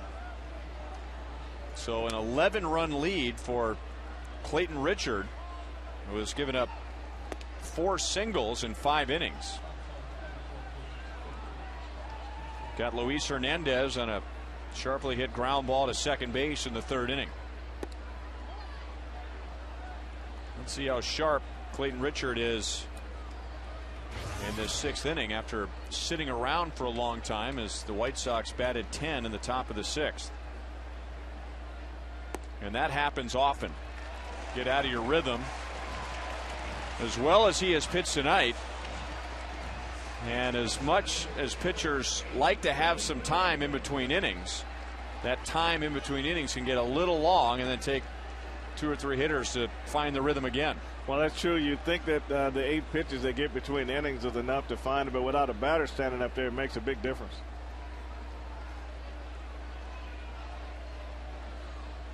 Bloomquist 0 for 2. Sorry, Frank. I was going to say, I bet, I bet if you ask him though, would he rather have a long inning and see his team score runs, or would you, or the uh, the other way? Uh, you'd probably take the runs in a long inning. Yeah. Would you like to have your rhythm back, but it's only one to nothing?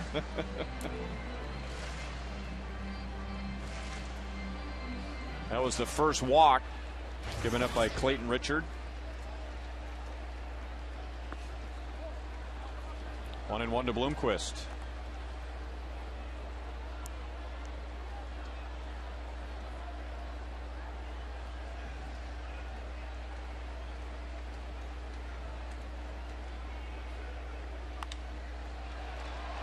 Hit hard to center, but Anderson comes up for it.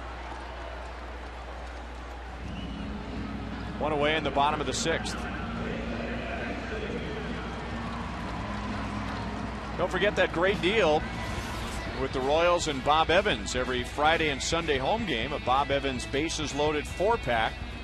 It's the complete package. You'll get four Royals tickets. Each ticket is loaded with $10. You can use it towards anything in the ballpark and you get all of that for $60. That's over a $100 value.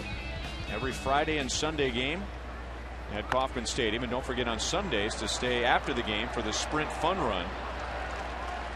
Hernandez slide takes Ramirez out enough to prevent another double play. The White Sox have already turned two double plays. De Jesus reaches. He is 0 for 3.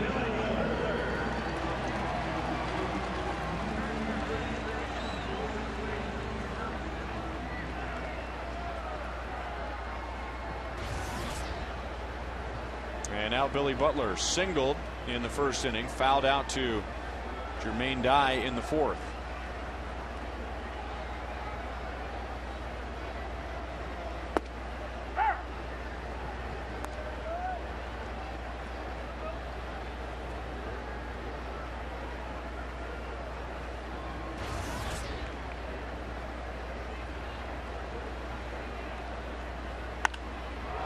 Driven to deep left field. That'll get the fans out of their seats. Billy Butler with his fourth home run of the year. Well, this is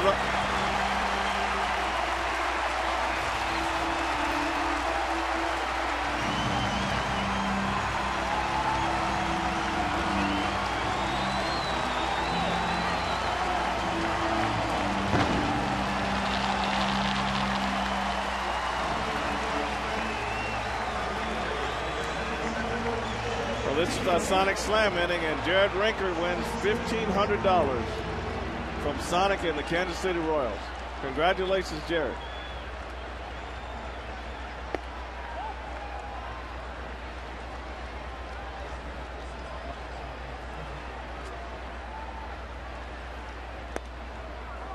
Two and zero oh on Jose Guillen, who has flied out twice. Last time up, taking Jermaine Dye to the warning track in right field.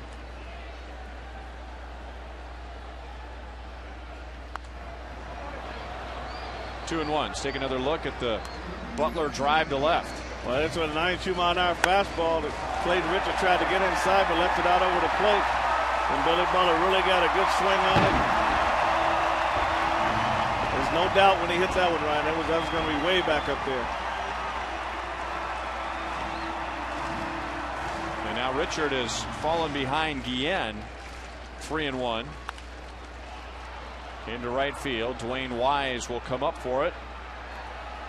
And that's the inning. But the Royals are on the scoreboard. Billy Butler goes deep. 11 2 Chicago.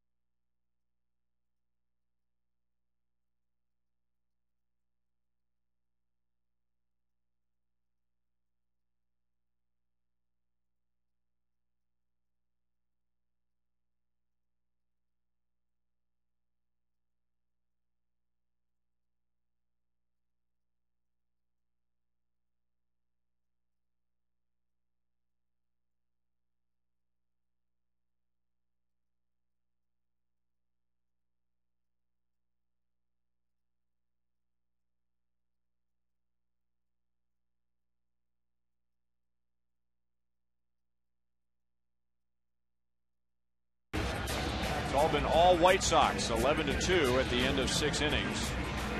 Every hitter in the lineup with a base hit.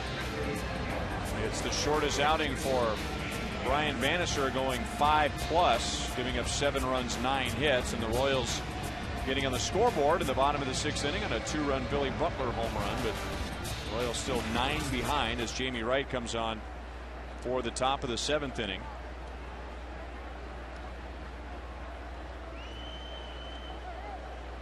So Bannister gives up seven runs in five innings. Sidney Ponson gave up four runs in a third of an inning. And then Farnsworth got the final two outs of the sixth. Chris Getz in the middle of that six run sixth inning. Singled, scored, had an RBI. He's one for three.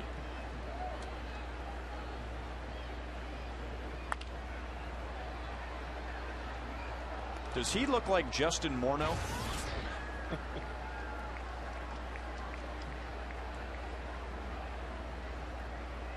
Pretty close.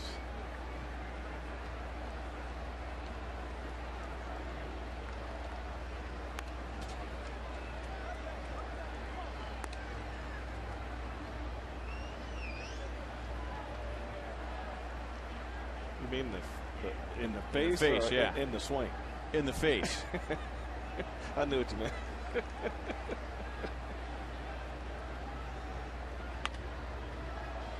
Just reaching out and poking it off the left field line. Still one and two. Don't forget about Royals alumni fans batting practice on July the 11th here at Kauffman Stadium from 8 a.m. until noon. 10 Royals alumni will be here to work with you. And this year the Royals are encouraging moms to come out with dad and the kids. 14 and older. $300 per adult $100 for each kid. Limited to 40 spots. Getz is thrown out by Jamey Wright. So again that's July the 11th call 816 504 4150 816 504 4150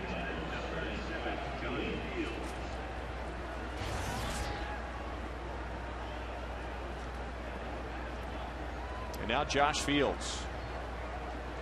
It's been a disappointing year for him with a 229 average coming into the game, but he got the big hit for the White Sox to get them going early. A two out, two strike, two run double against Brian Bannister in the second. And then singled and scored in the sixth.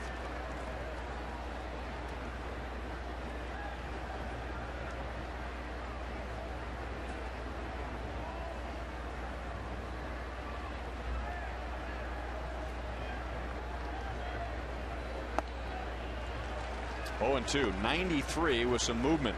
Yeah, he's got some good sink down and in. Like just that's the second uh, straight sinker that went underneath uh, Fields' is bat, and that means Jamey's got some live movement to his to his sinker tonight.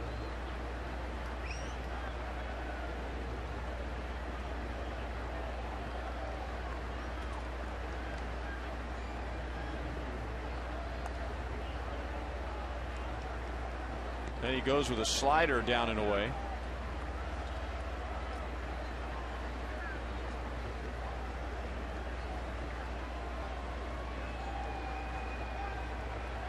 One in the first, three in the second, one in the fifth, six in the sixth for Chicago. Still one and two to Fields. Yeah, White Sox really uh, are looking away with two strikes, and that was a changeup out over the outside corner. He was able to go out there and get the bat on it. And he threw two real good sinkers down underneath his swing, and you go way off the plate with a slider, and come back with a changeup out over the plate, and he was right there on it.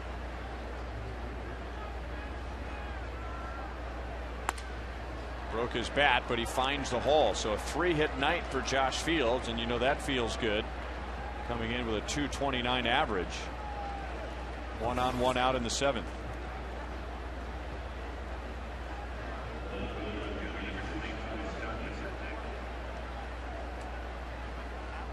Scott Podsednik is hitting for the fifth time.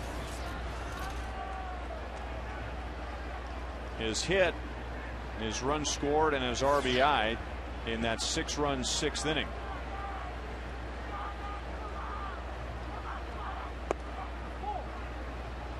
Ball one on a sinker. Podsednik is a former high round pick back in 94 15 years ago. Second round pick of the Texas Rangers. He's had a whole bunch of injuries never could quite get on the path to the big leagues that the Rangers had hoped. Got to the big leagues for the first time with the Mariners. Was still a rookie when he played in the big leagues with the Milwaukee Brewers and had a year where he stole 70 bases. After a couple of years in Milwaukee, went to Chicago in 2005, and he and Tadahito Iguchi really changing the dynamics of that White Sox batting order. All they did was hit home runs, but gave them a more balanced offense. And they won the World Series that year, beating the Houston Astros. They gave them that speed element at the top of the order, and they can play some hit and run, and they, they got a good shot at having somebody on base when those middle of the guys came up. And I think every team wants to be like that, have that one-two guy that can get on, and have your three, four, five guys in a position always driving runs.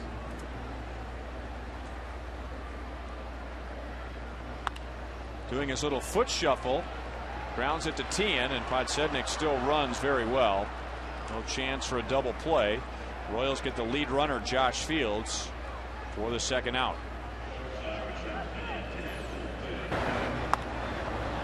Well, Mark does, a good job giving the ball to Callaspo.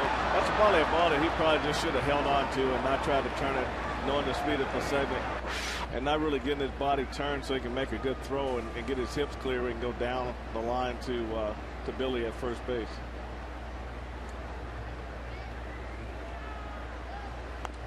Now Lexi Ramirez who fouls one off of his foot. You know, Greg Walker said about him is toward the end of last year he felt the league had really started just not throwing strikes and he was chasing a lot of bad balls and and really just came right into this season doing the same thing and whether it be fastballs or breaking balls, he was just a free swinger trying to hit everything. And he said lately he's been doing a little bit better job, and they noticed that he had wrapping his bat a little bit further than he was, and they went back and looked at film and, and, and let him see it, and now he's starting to do a little bit better job of being uh, getting better pitches to hit. He was benched recently for a couple of games. Not necessarily as punishment, but Ozzie Guillen wanted him to just watch the game from a different angle. And Ramirez picks up his third hit of the night. 16 hits for the White Sox, and we're in the seventh inning. Just take a couple of games, no pressure, just watch the game, watch some other hitters, take some at bats. And he really started to swing the bat well after taking a two game break. Well, they said he was just really too pull conscious, and he was trying to get out in front and hit everything, and, and really wasn't waiting for the uh, pitch to get there. He was just way out in front of the breaking ball and a little slow for the fastball. But tonight, you know, he hit the hit the left, hit the center, and hit the right. You know, that's that spread it out pretty good.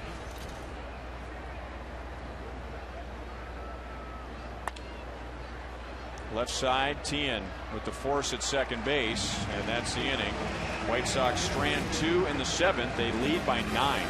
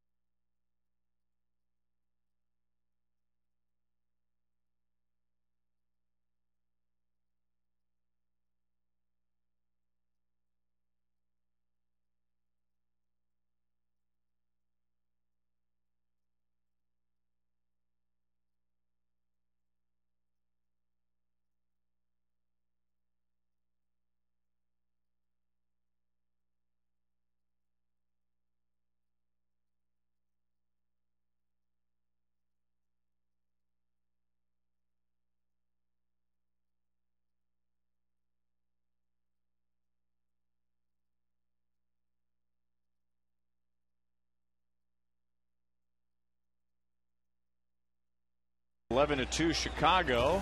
Other games brought to you by Panera Bread. Texas in front of Oakland. Rangers in front by three in the West. That's game one of a doubleheader. Or game two of the doubleheader. 18 and 8 in the month of May for the Texas Rangers. Baltimore has won its fifth in a row. Luke Scott with five home runs in his last three games, just coming off the DL. New York in front of Cleveland. The Indians have won four in a row. Yankees a half game back of Boston in the East. And Toronto finally snaps that nine game losing streak. They had gone from three or four game lead in the East to two games back. Tampa Bay in front of Minnesota. They have lost five in a row. So they've had a tough time getting it going early this year after going to the World Series. And then Seattle and Los Angeles with the Angels three games back of the Rangers in the West. Jacob strikes out on four pitches. He is 0 for 3 tonight. Five strikeouts for Clayton Richard.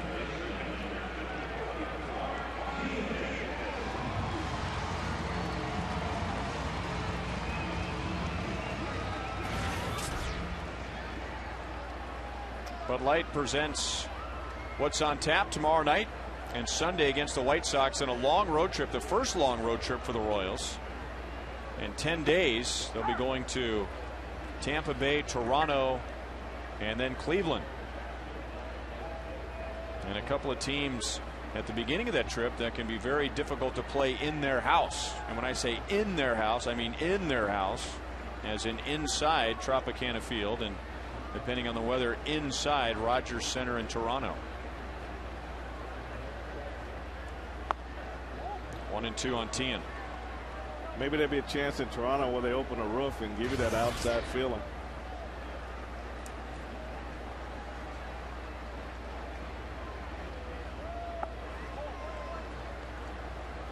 It's a nice option to have, though.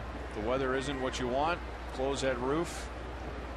One thing you know when you go to Tampa Bay and Toronto, you are going to play no matter what. You're definitely going to play. Although, remember that year? Were you on the coaching staff that year when the roof collided, the two panels collided and started to fall apart? Game was postponed. Teahen retired for the first time tonight by Richard, who has struck out six. Two down in the seventh inning. Well, if he lost the rhythm in the sixth, he's found it in the seventh. He's really sharp with his breaking ball to the outside to the, to the left-handers with the breaking ball, and then he also uh, did a what we call a, a backdoor breaking ball. A ten where he threw it at him and caught the inside corner. Ball one on Callaspo, who is singled and grounded into a double play. And that's hit hard into left center. Podsednik cuts it off quickly. Callaspo wants a double. And he is going to be safe. The ball is in and out of Getz's glove. Two hit game for Alberto Callaspo.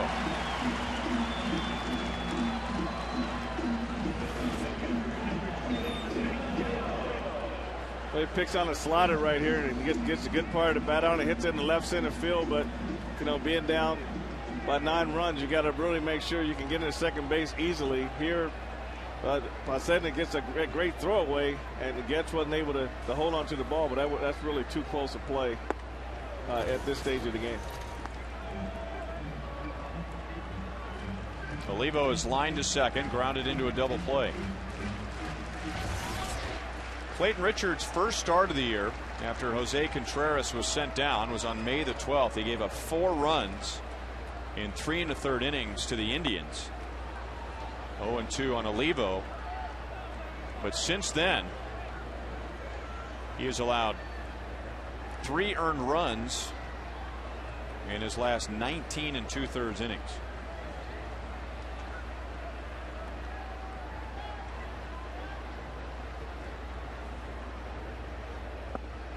And that's a three pitch strikeout. So Richard strikes out the side. He has fanned seven tonight.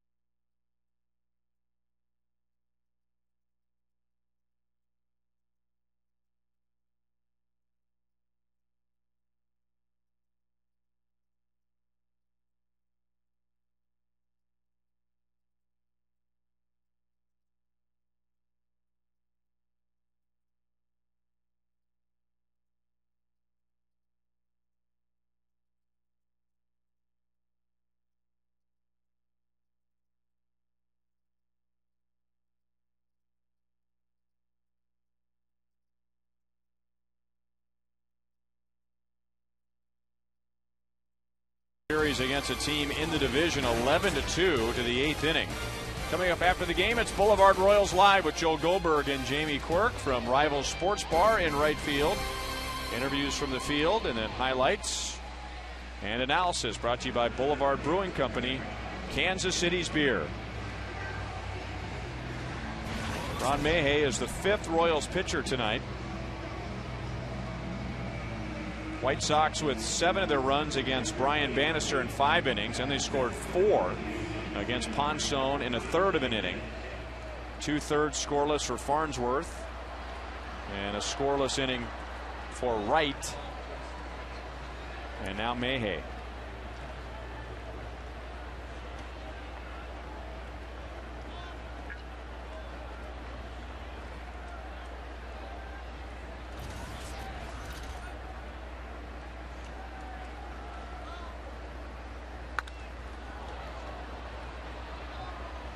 This is Jayson Nix pinch hitting for Jim Thome. Pretty good swing at the first pitch from Mahay, but lines out to left. Routine play for DeJesus, but earlier in the game made a fine defensive play brought to you by the Home Depot, doing more on defense. Well, David did a great job here coming in and getting his glove down underneath that little soft liner and made it made a really excellent play there.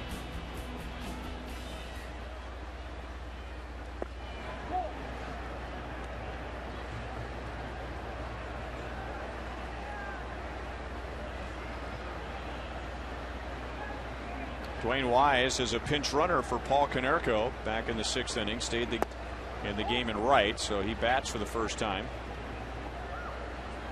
Won the center field job in spring training. It was between Wise, Brian Anderson, and Jerry Owens.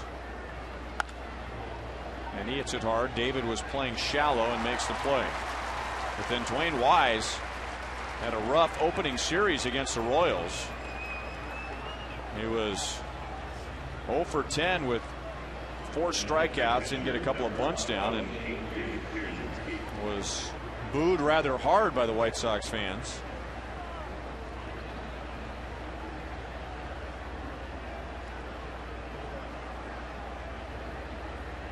The Royals have retired the White Sox in order once tonight. That was back in the third inning. Brian Bannister getting Thome, Konerko, and Pierzynski. The four, five, and six hitters, and now Mahay trying to do the same against the four, five, and six here in the eighth. Two hits for Pierzynski with a run scored and an RBI.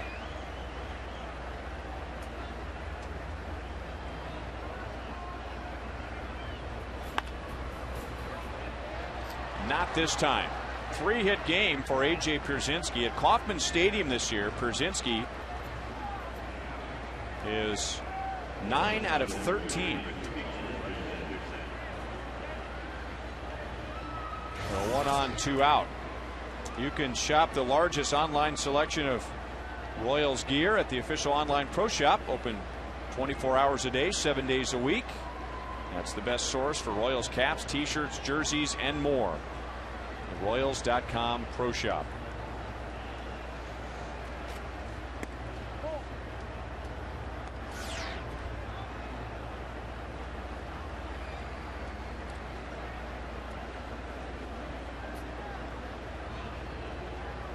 Two doubles, a run scored for Brian Anderson tonight.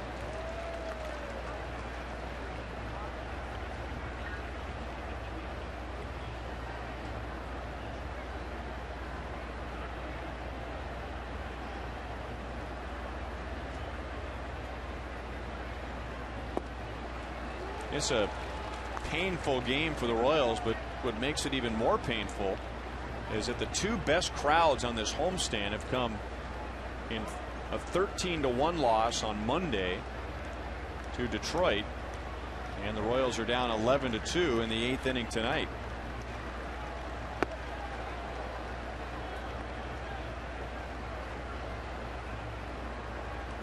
Uh, typically, your Friday night crowds with the fireworks and, and Buck Night and so forth, and your Saturday night crowds are usually the best during the week. And it would be always great to win when you got more people in the stands and get more people excited and ready to come back to the ballpark.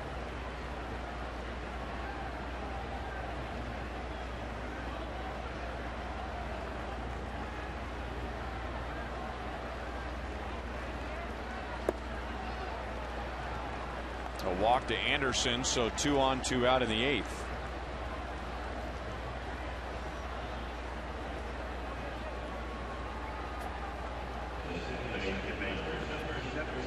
Chris Getz is one for four. He was right in the middle of the White Sox biggest inning tonight six runs in the sixth with a single a run scored and an RBI.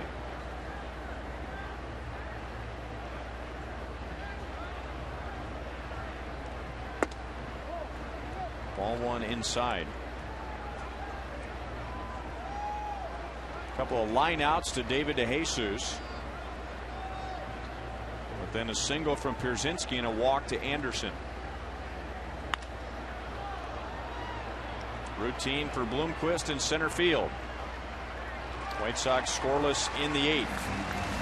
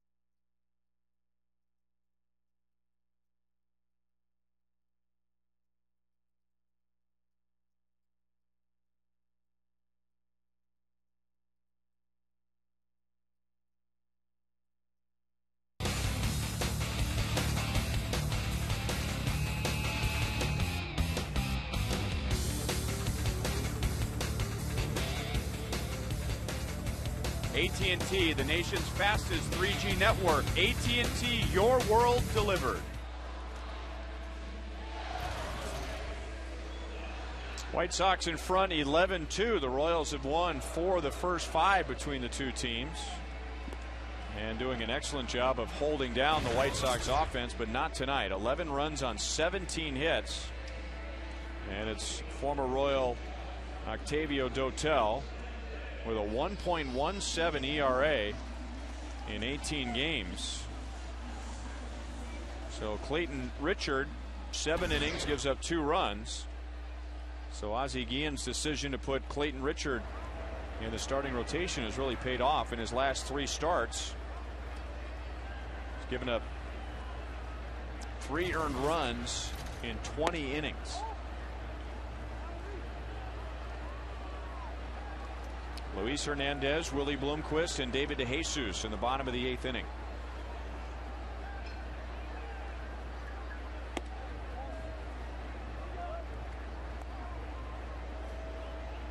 Hernandez is grounded out and walked. That was the only walk given up by Richard in seven innings.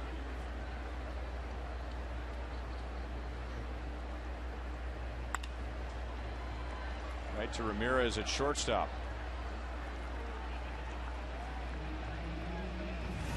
And now Mitch Maier is going to bat for Willie Bloomquist. So Willie ends the night a tough luck 0 for 3. Lined out twice in the first inning to second baseman Getz, who made a fantastic diving play, the defensive play of the game. And Willie also lined out to center.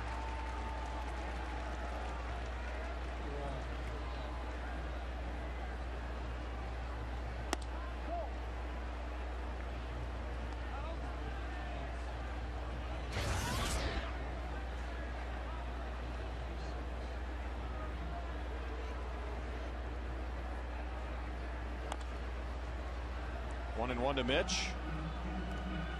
Fouls it away in front of 26,495 on a beautiful late May evening. Fireworks after the game.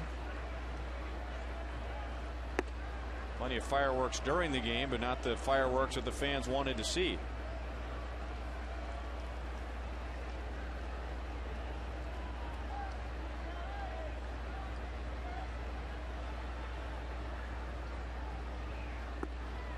Two and two.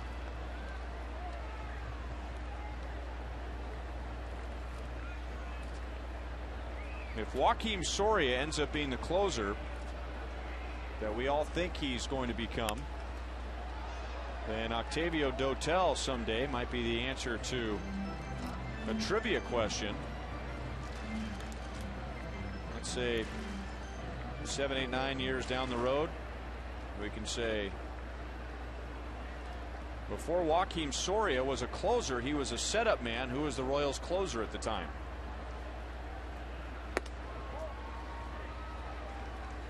And you would say Frank White. I would say Octavio Dotel. And I would say, great job. great setup.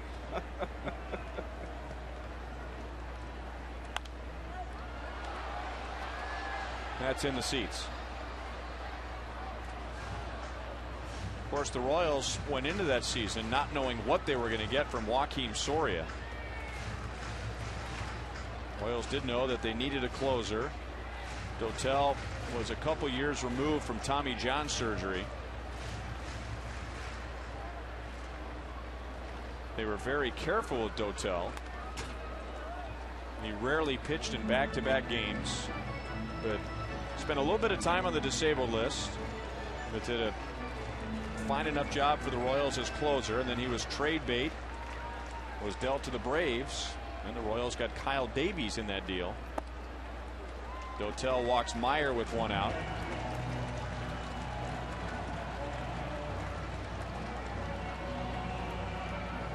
And brings up David DeJesus.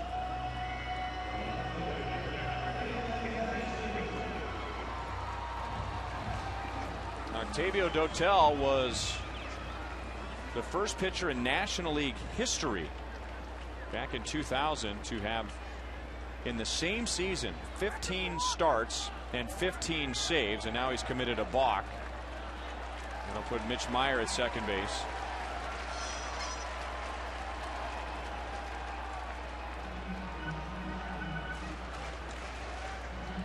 So Dotel who began his major league career in the starting rotation for the Houston Astros. He was not happy at first being moved to the bullpen but ended up being a very good closer. Until he blew out his elbow and then came back and pitched a few games with the New York Yankees. Wasn't quite there. The Royals scouting team even though he wasn't getting the results liked his stuff his velocity was coming back that sharp slider was coming back Royals signed him in 2007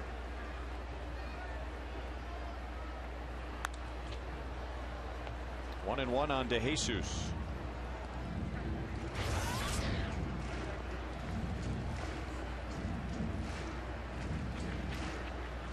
Now, the one thing that really would make any closer put you on the edge of your seat are walks. And uh, you look at the 15 innings he's pitched, you're looking at about 10 uh, on the night, 11 walks. So the, the walks are really the big bugaboo about guys who are closers who keep you on the, on the edge of your seat all the time.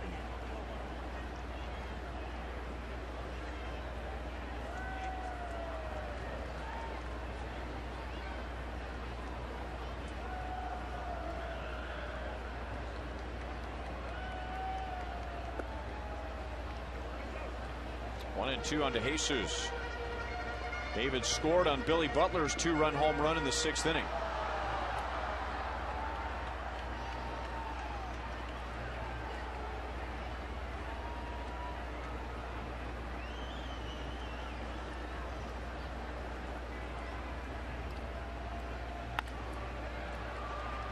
Betemit at first to Dotel. Second out of the inning, Maier to third base.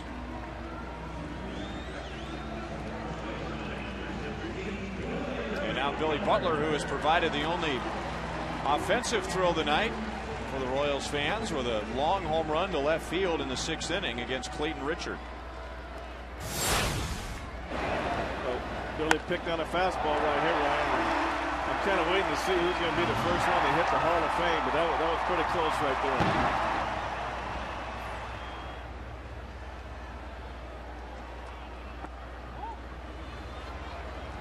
To Hall of Fame. Those are expensive windows out there. I better hope they're you better hope they're bulletproof or bulletproof, shatterproof, and everything else because it's going to get hit this summer by somebody. bulletproof. Yeah, the baseball can break it. You need something like the glass that was in the uh, stadium club, you know. Okay. It's got to be shatterproof. Right below the Royals Hall of Fame is former Royal Jimmy Gobble.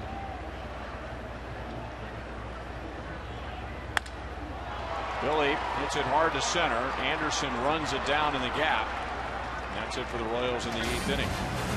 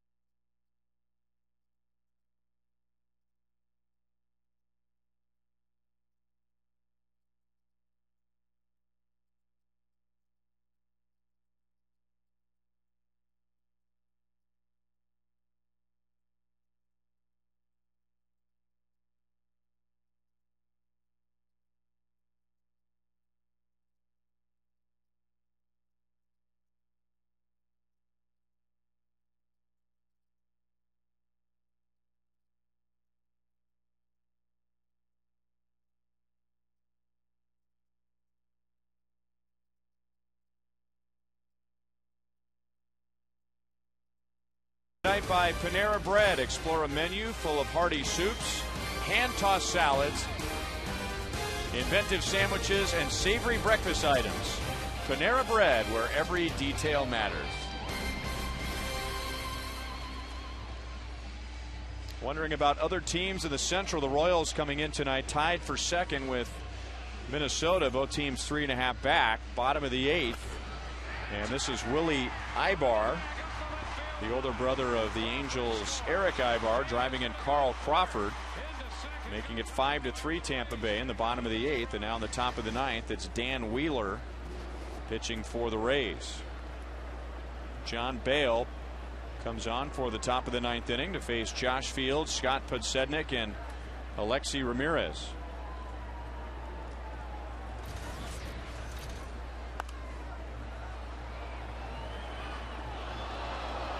Well, Josh Fields, if he turns his season around, might point to tonight as a catalyst for that with three hits, a couple of RBIs, two runs scored. He was hitting 229. So he has added 13 points to his batting average.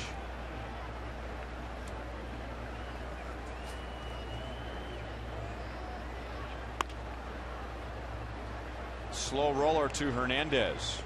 One down in the ninth inning. John Bale making his second appearance since rejoining the Royals, and he was a lifesaver in the game on Sunday in St. Louis. Coming on in the sixth inning to get the Royals out of a jam. A big strikeout of Rick Ankiel stayed on for the seventh. Very important inning and a third for him, and the Royals making the third and final game of that series. Ball one to Podsednik. John Bale's got that lower arm slot, which gives him a lot of movement and gives him a lot more deception on his curveball.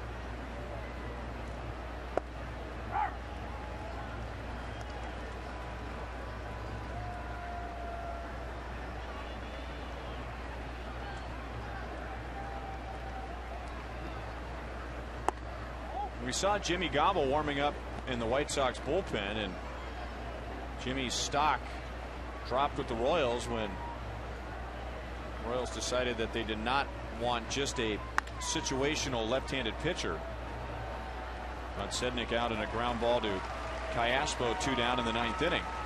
And even now, the Royals don't really have, or didn't have, before Sunday, didn't have a left-hand pitcher that you would say this guy is above and beyond the best lefty we have. But when Bale drops down with that arm angle there, he might be the guy that Trey Hillman goes to late in the game when you need to get a lefty out. Well, he's got the deception, and he's got the the uh, the deception on the breaking ball, and I think that's what you need to get for a left-hander to get a left-hander out. He's got to have something to hold him back so he don't go out over the plate uh, as easily on you. And he he showed that he he does have that ability to do that.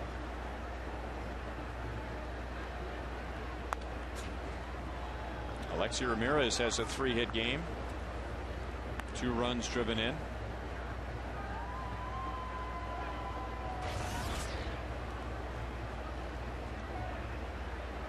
Every White Sox hitter has scored a run tonight.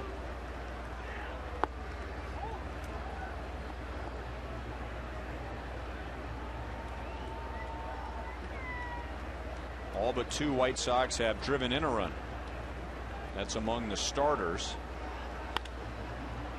Center field, Mitch Maier makes the play. John Bale knocks down the White Sox one, two, three in the ninth.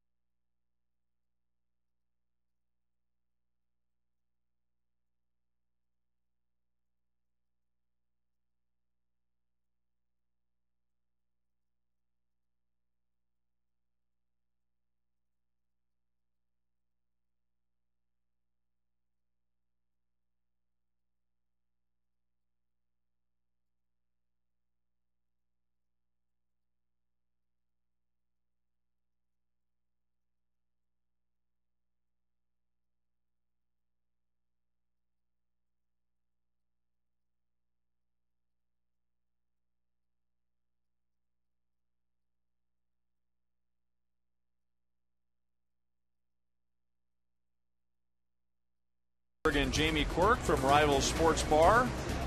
Fireworks after the game, but the White Sox provided the in-game fireworks. Brian Bannister allowing seven runs in five innings tonight. Fans are going to ask questions. Frank White will answer. And a preview of tomorrow with Gil Meche against Mark Buehrle. And Buehrle's off to a 6 and 1 start. All that coming up with Joel and Jamie on Boulevard Royals Live. Well, here's Jimmy Gobble. First time we've seen him in another uniform. He was released by the Royals in spring training, picked up by the Texas Rangers, released by them, minor league contract with the White Sox, and recently called up. And this is his fifth appearance. Well, I talked to Jimmy before the game, Ryan, and he said that he really credits uh, Buddy Bell with getting him over to the White Sox and seeing enough in him to give him another shot. But he also says he's going back to being over the top with his arm angle, lower three, the, the three-quarter arm slot, going back to his 12 to 6 curveball, and he wants and he's trying to throw more of a two-seamer, get more of a sinking fastball from that arm angle. Frank, I tell you, I really thought he had added several years to his career when he went down sidearm a couple of years ago against the left-hand batters. I mean, he was nasty against the lefties, and even last year, with all of his struggles as a Royal, he still held left-hand hitters to a 200 average. I think he's finding that uh, you know a situation on lefty doesn't have a a strong place in the game, so he feels he needs those other pitches to be able to pitch against right-handed hitters. You know, when he, when he was in Double A, his curveball was more 12 to 6. That was really his signature pitch. And when he dropped down, he felt he lost velocity. So he, in, in going back up to the three-quarter arm slot, he said he's somewhere around 90, 91. He wants to get to 93, 94.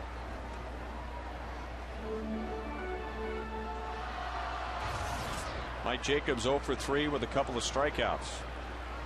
Well, maybe there are some teams who don't value a situational lefty, but there are some who do. I mean, you play a long time for Tony La Russa in St. Louis if you can get some left-hand pitchers out. Oh, yeah.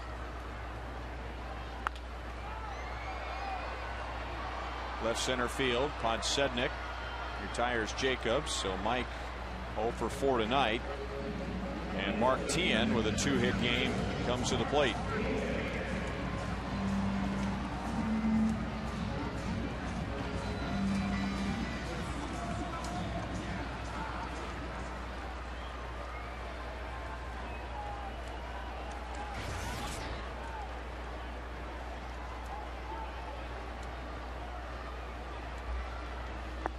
Ten years ago, Jimmy Gobble was a first round sandwich pick, so in between the first and second round of the Royals.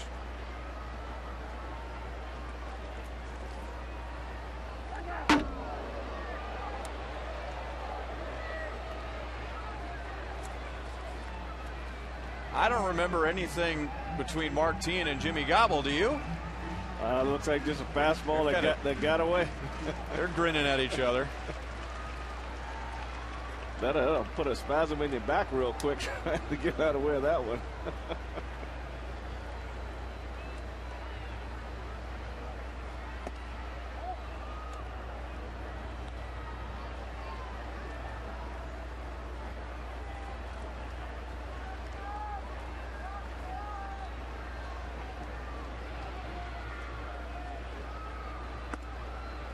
And a four pitch walk.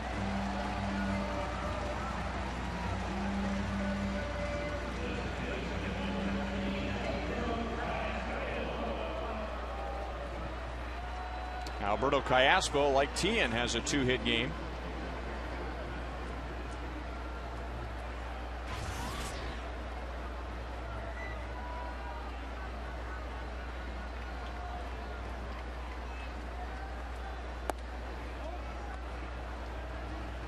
Clayton Richards, seven innings, gave up two runs, six hits.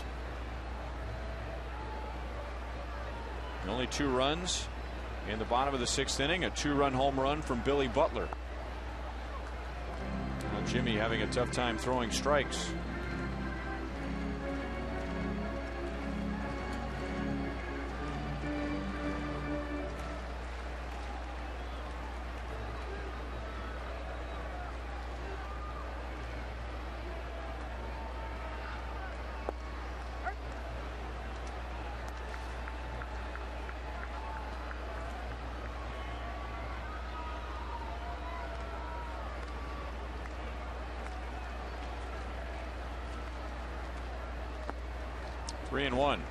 So drafted in 99, Jimmy made his major league debut at the Royals in 03. The start against the Tampa Bay Rays here at Kauffman Stadium. Jimmy went to his mouth on the mound, so that's ball four. So Callaspo will get a walk. So Ed Rapuano, home plate umpire, late in the game is called a balk if you go to your mouth with the pitcher on the dirt portion of the mound, that is an automatic ball. So with the count three and one. Boy, Jimmy sure has a big mouth, doesn't he?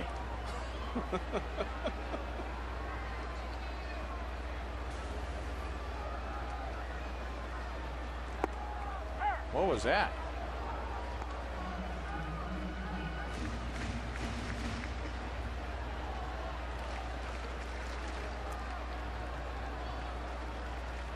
Missed by a long way on that one, didn't he? Wow. 0 and 2 on Miguel Olivo.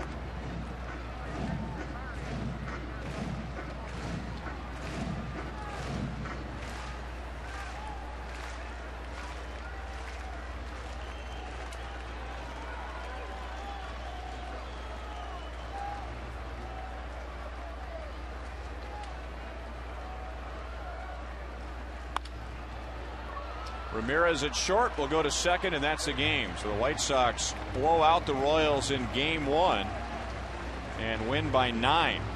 So an impressive start again for Clayton Richard, who improves to 2 0, giving up just two runs in seven innings.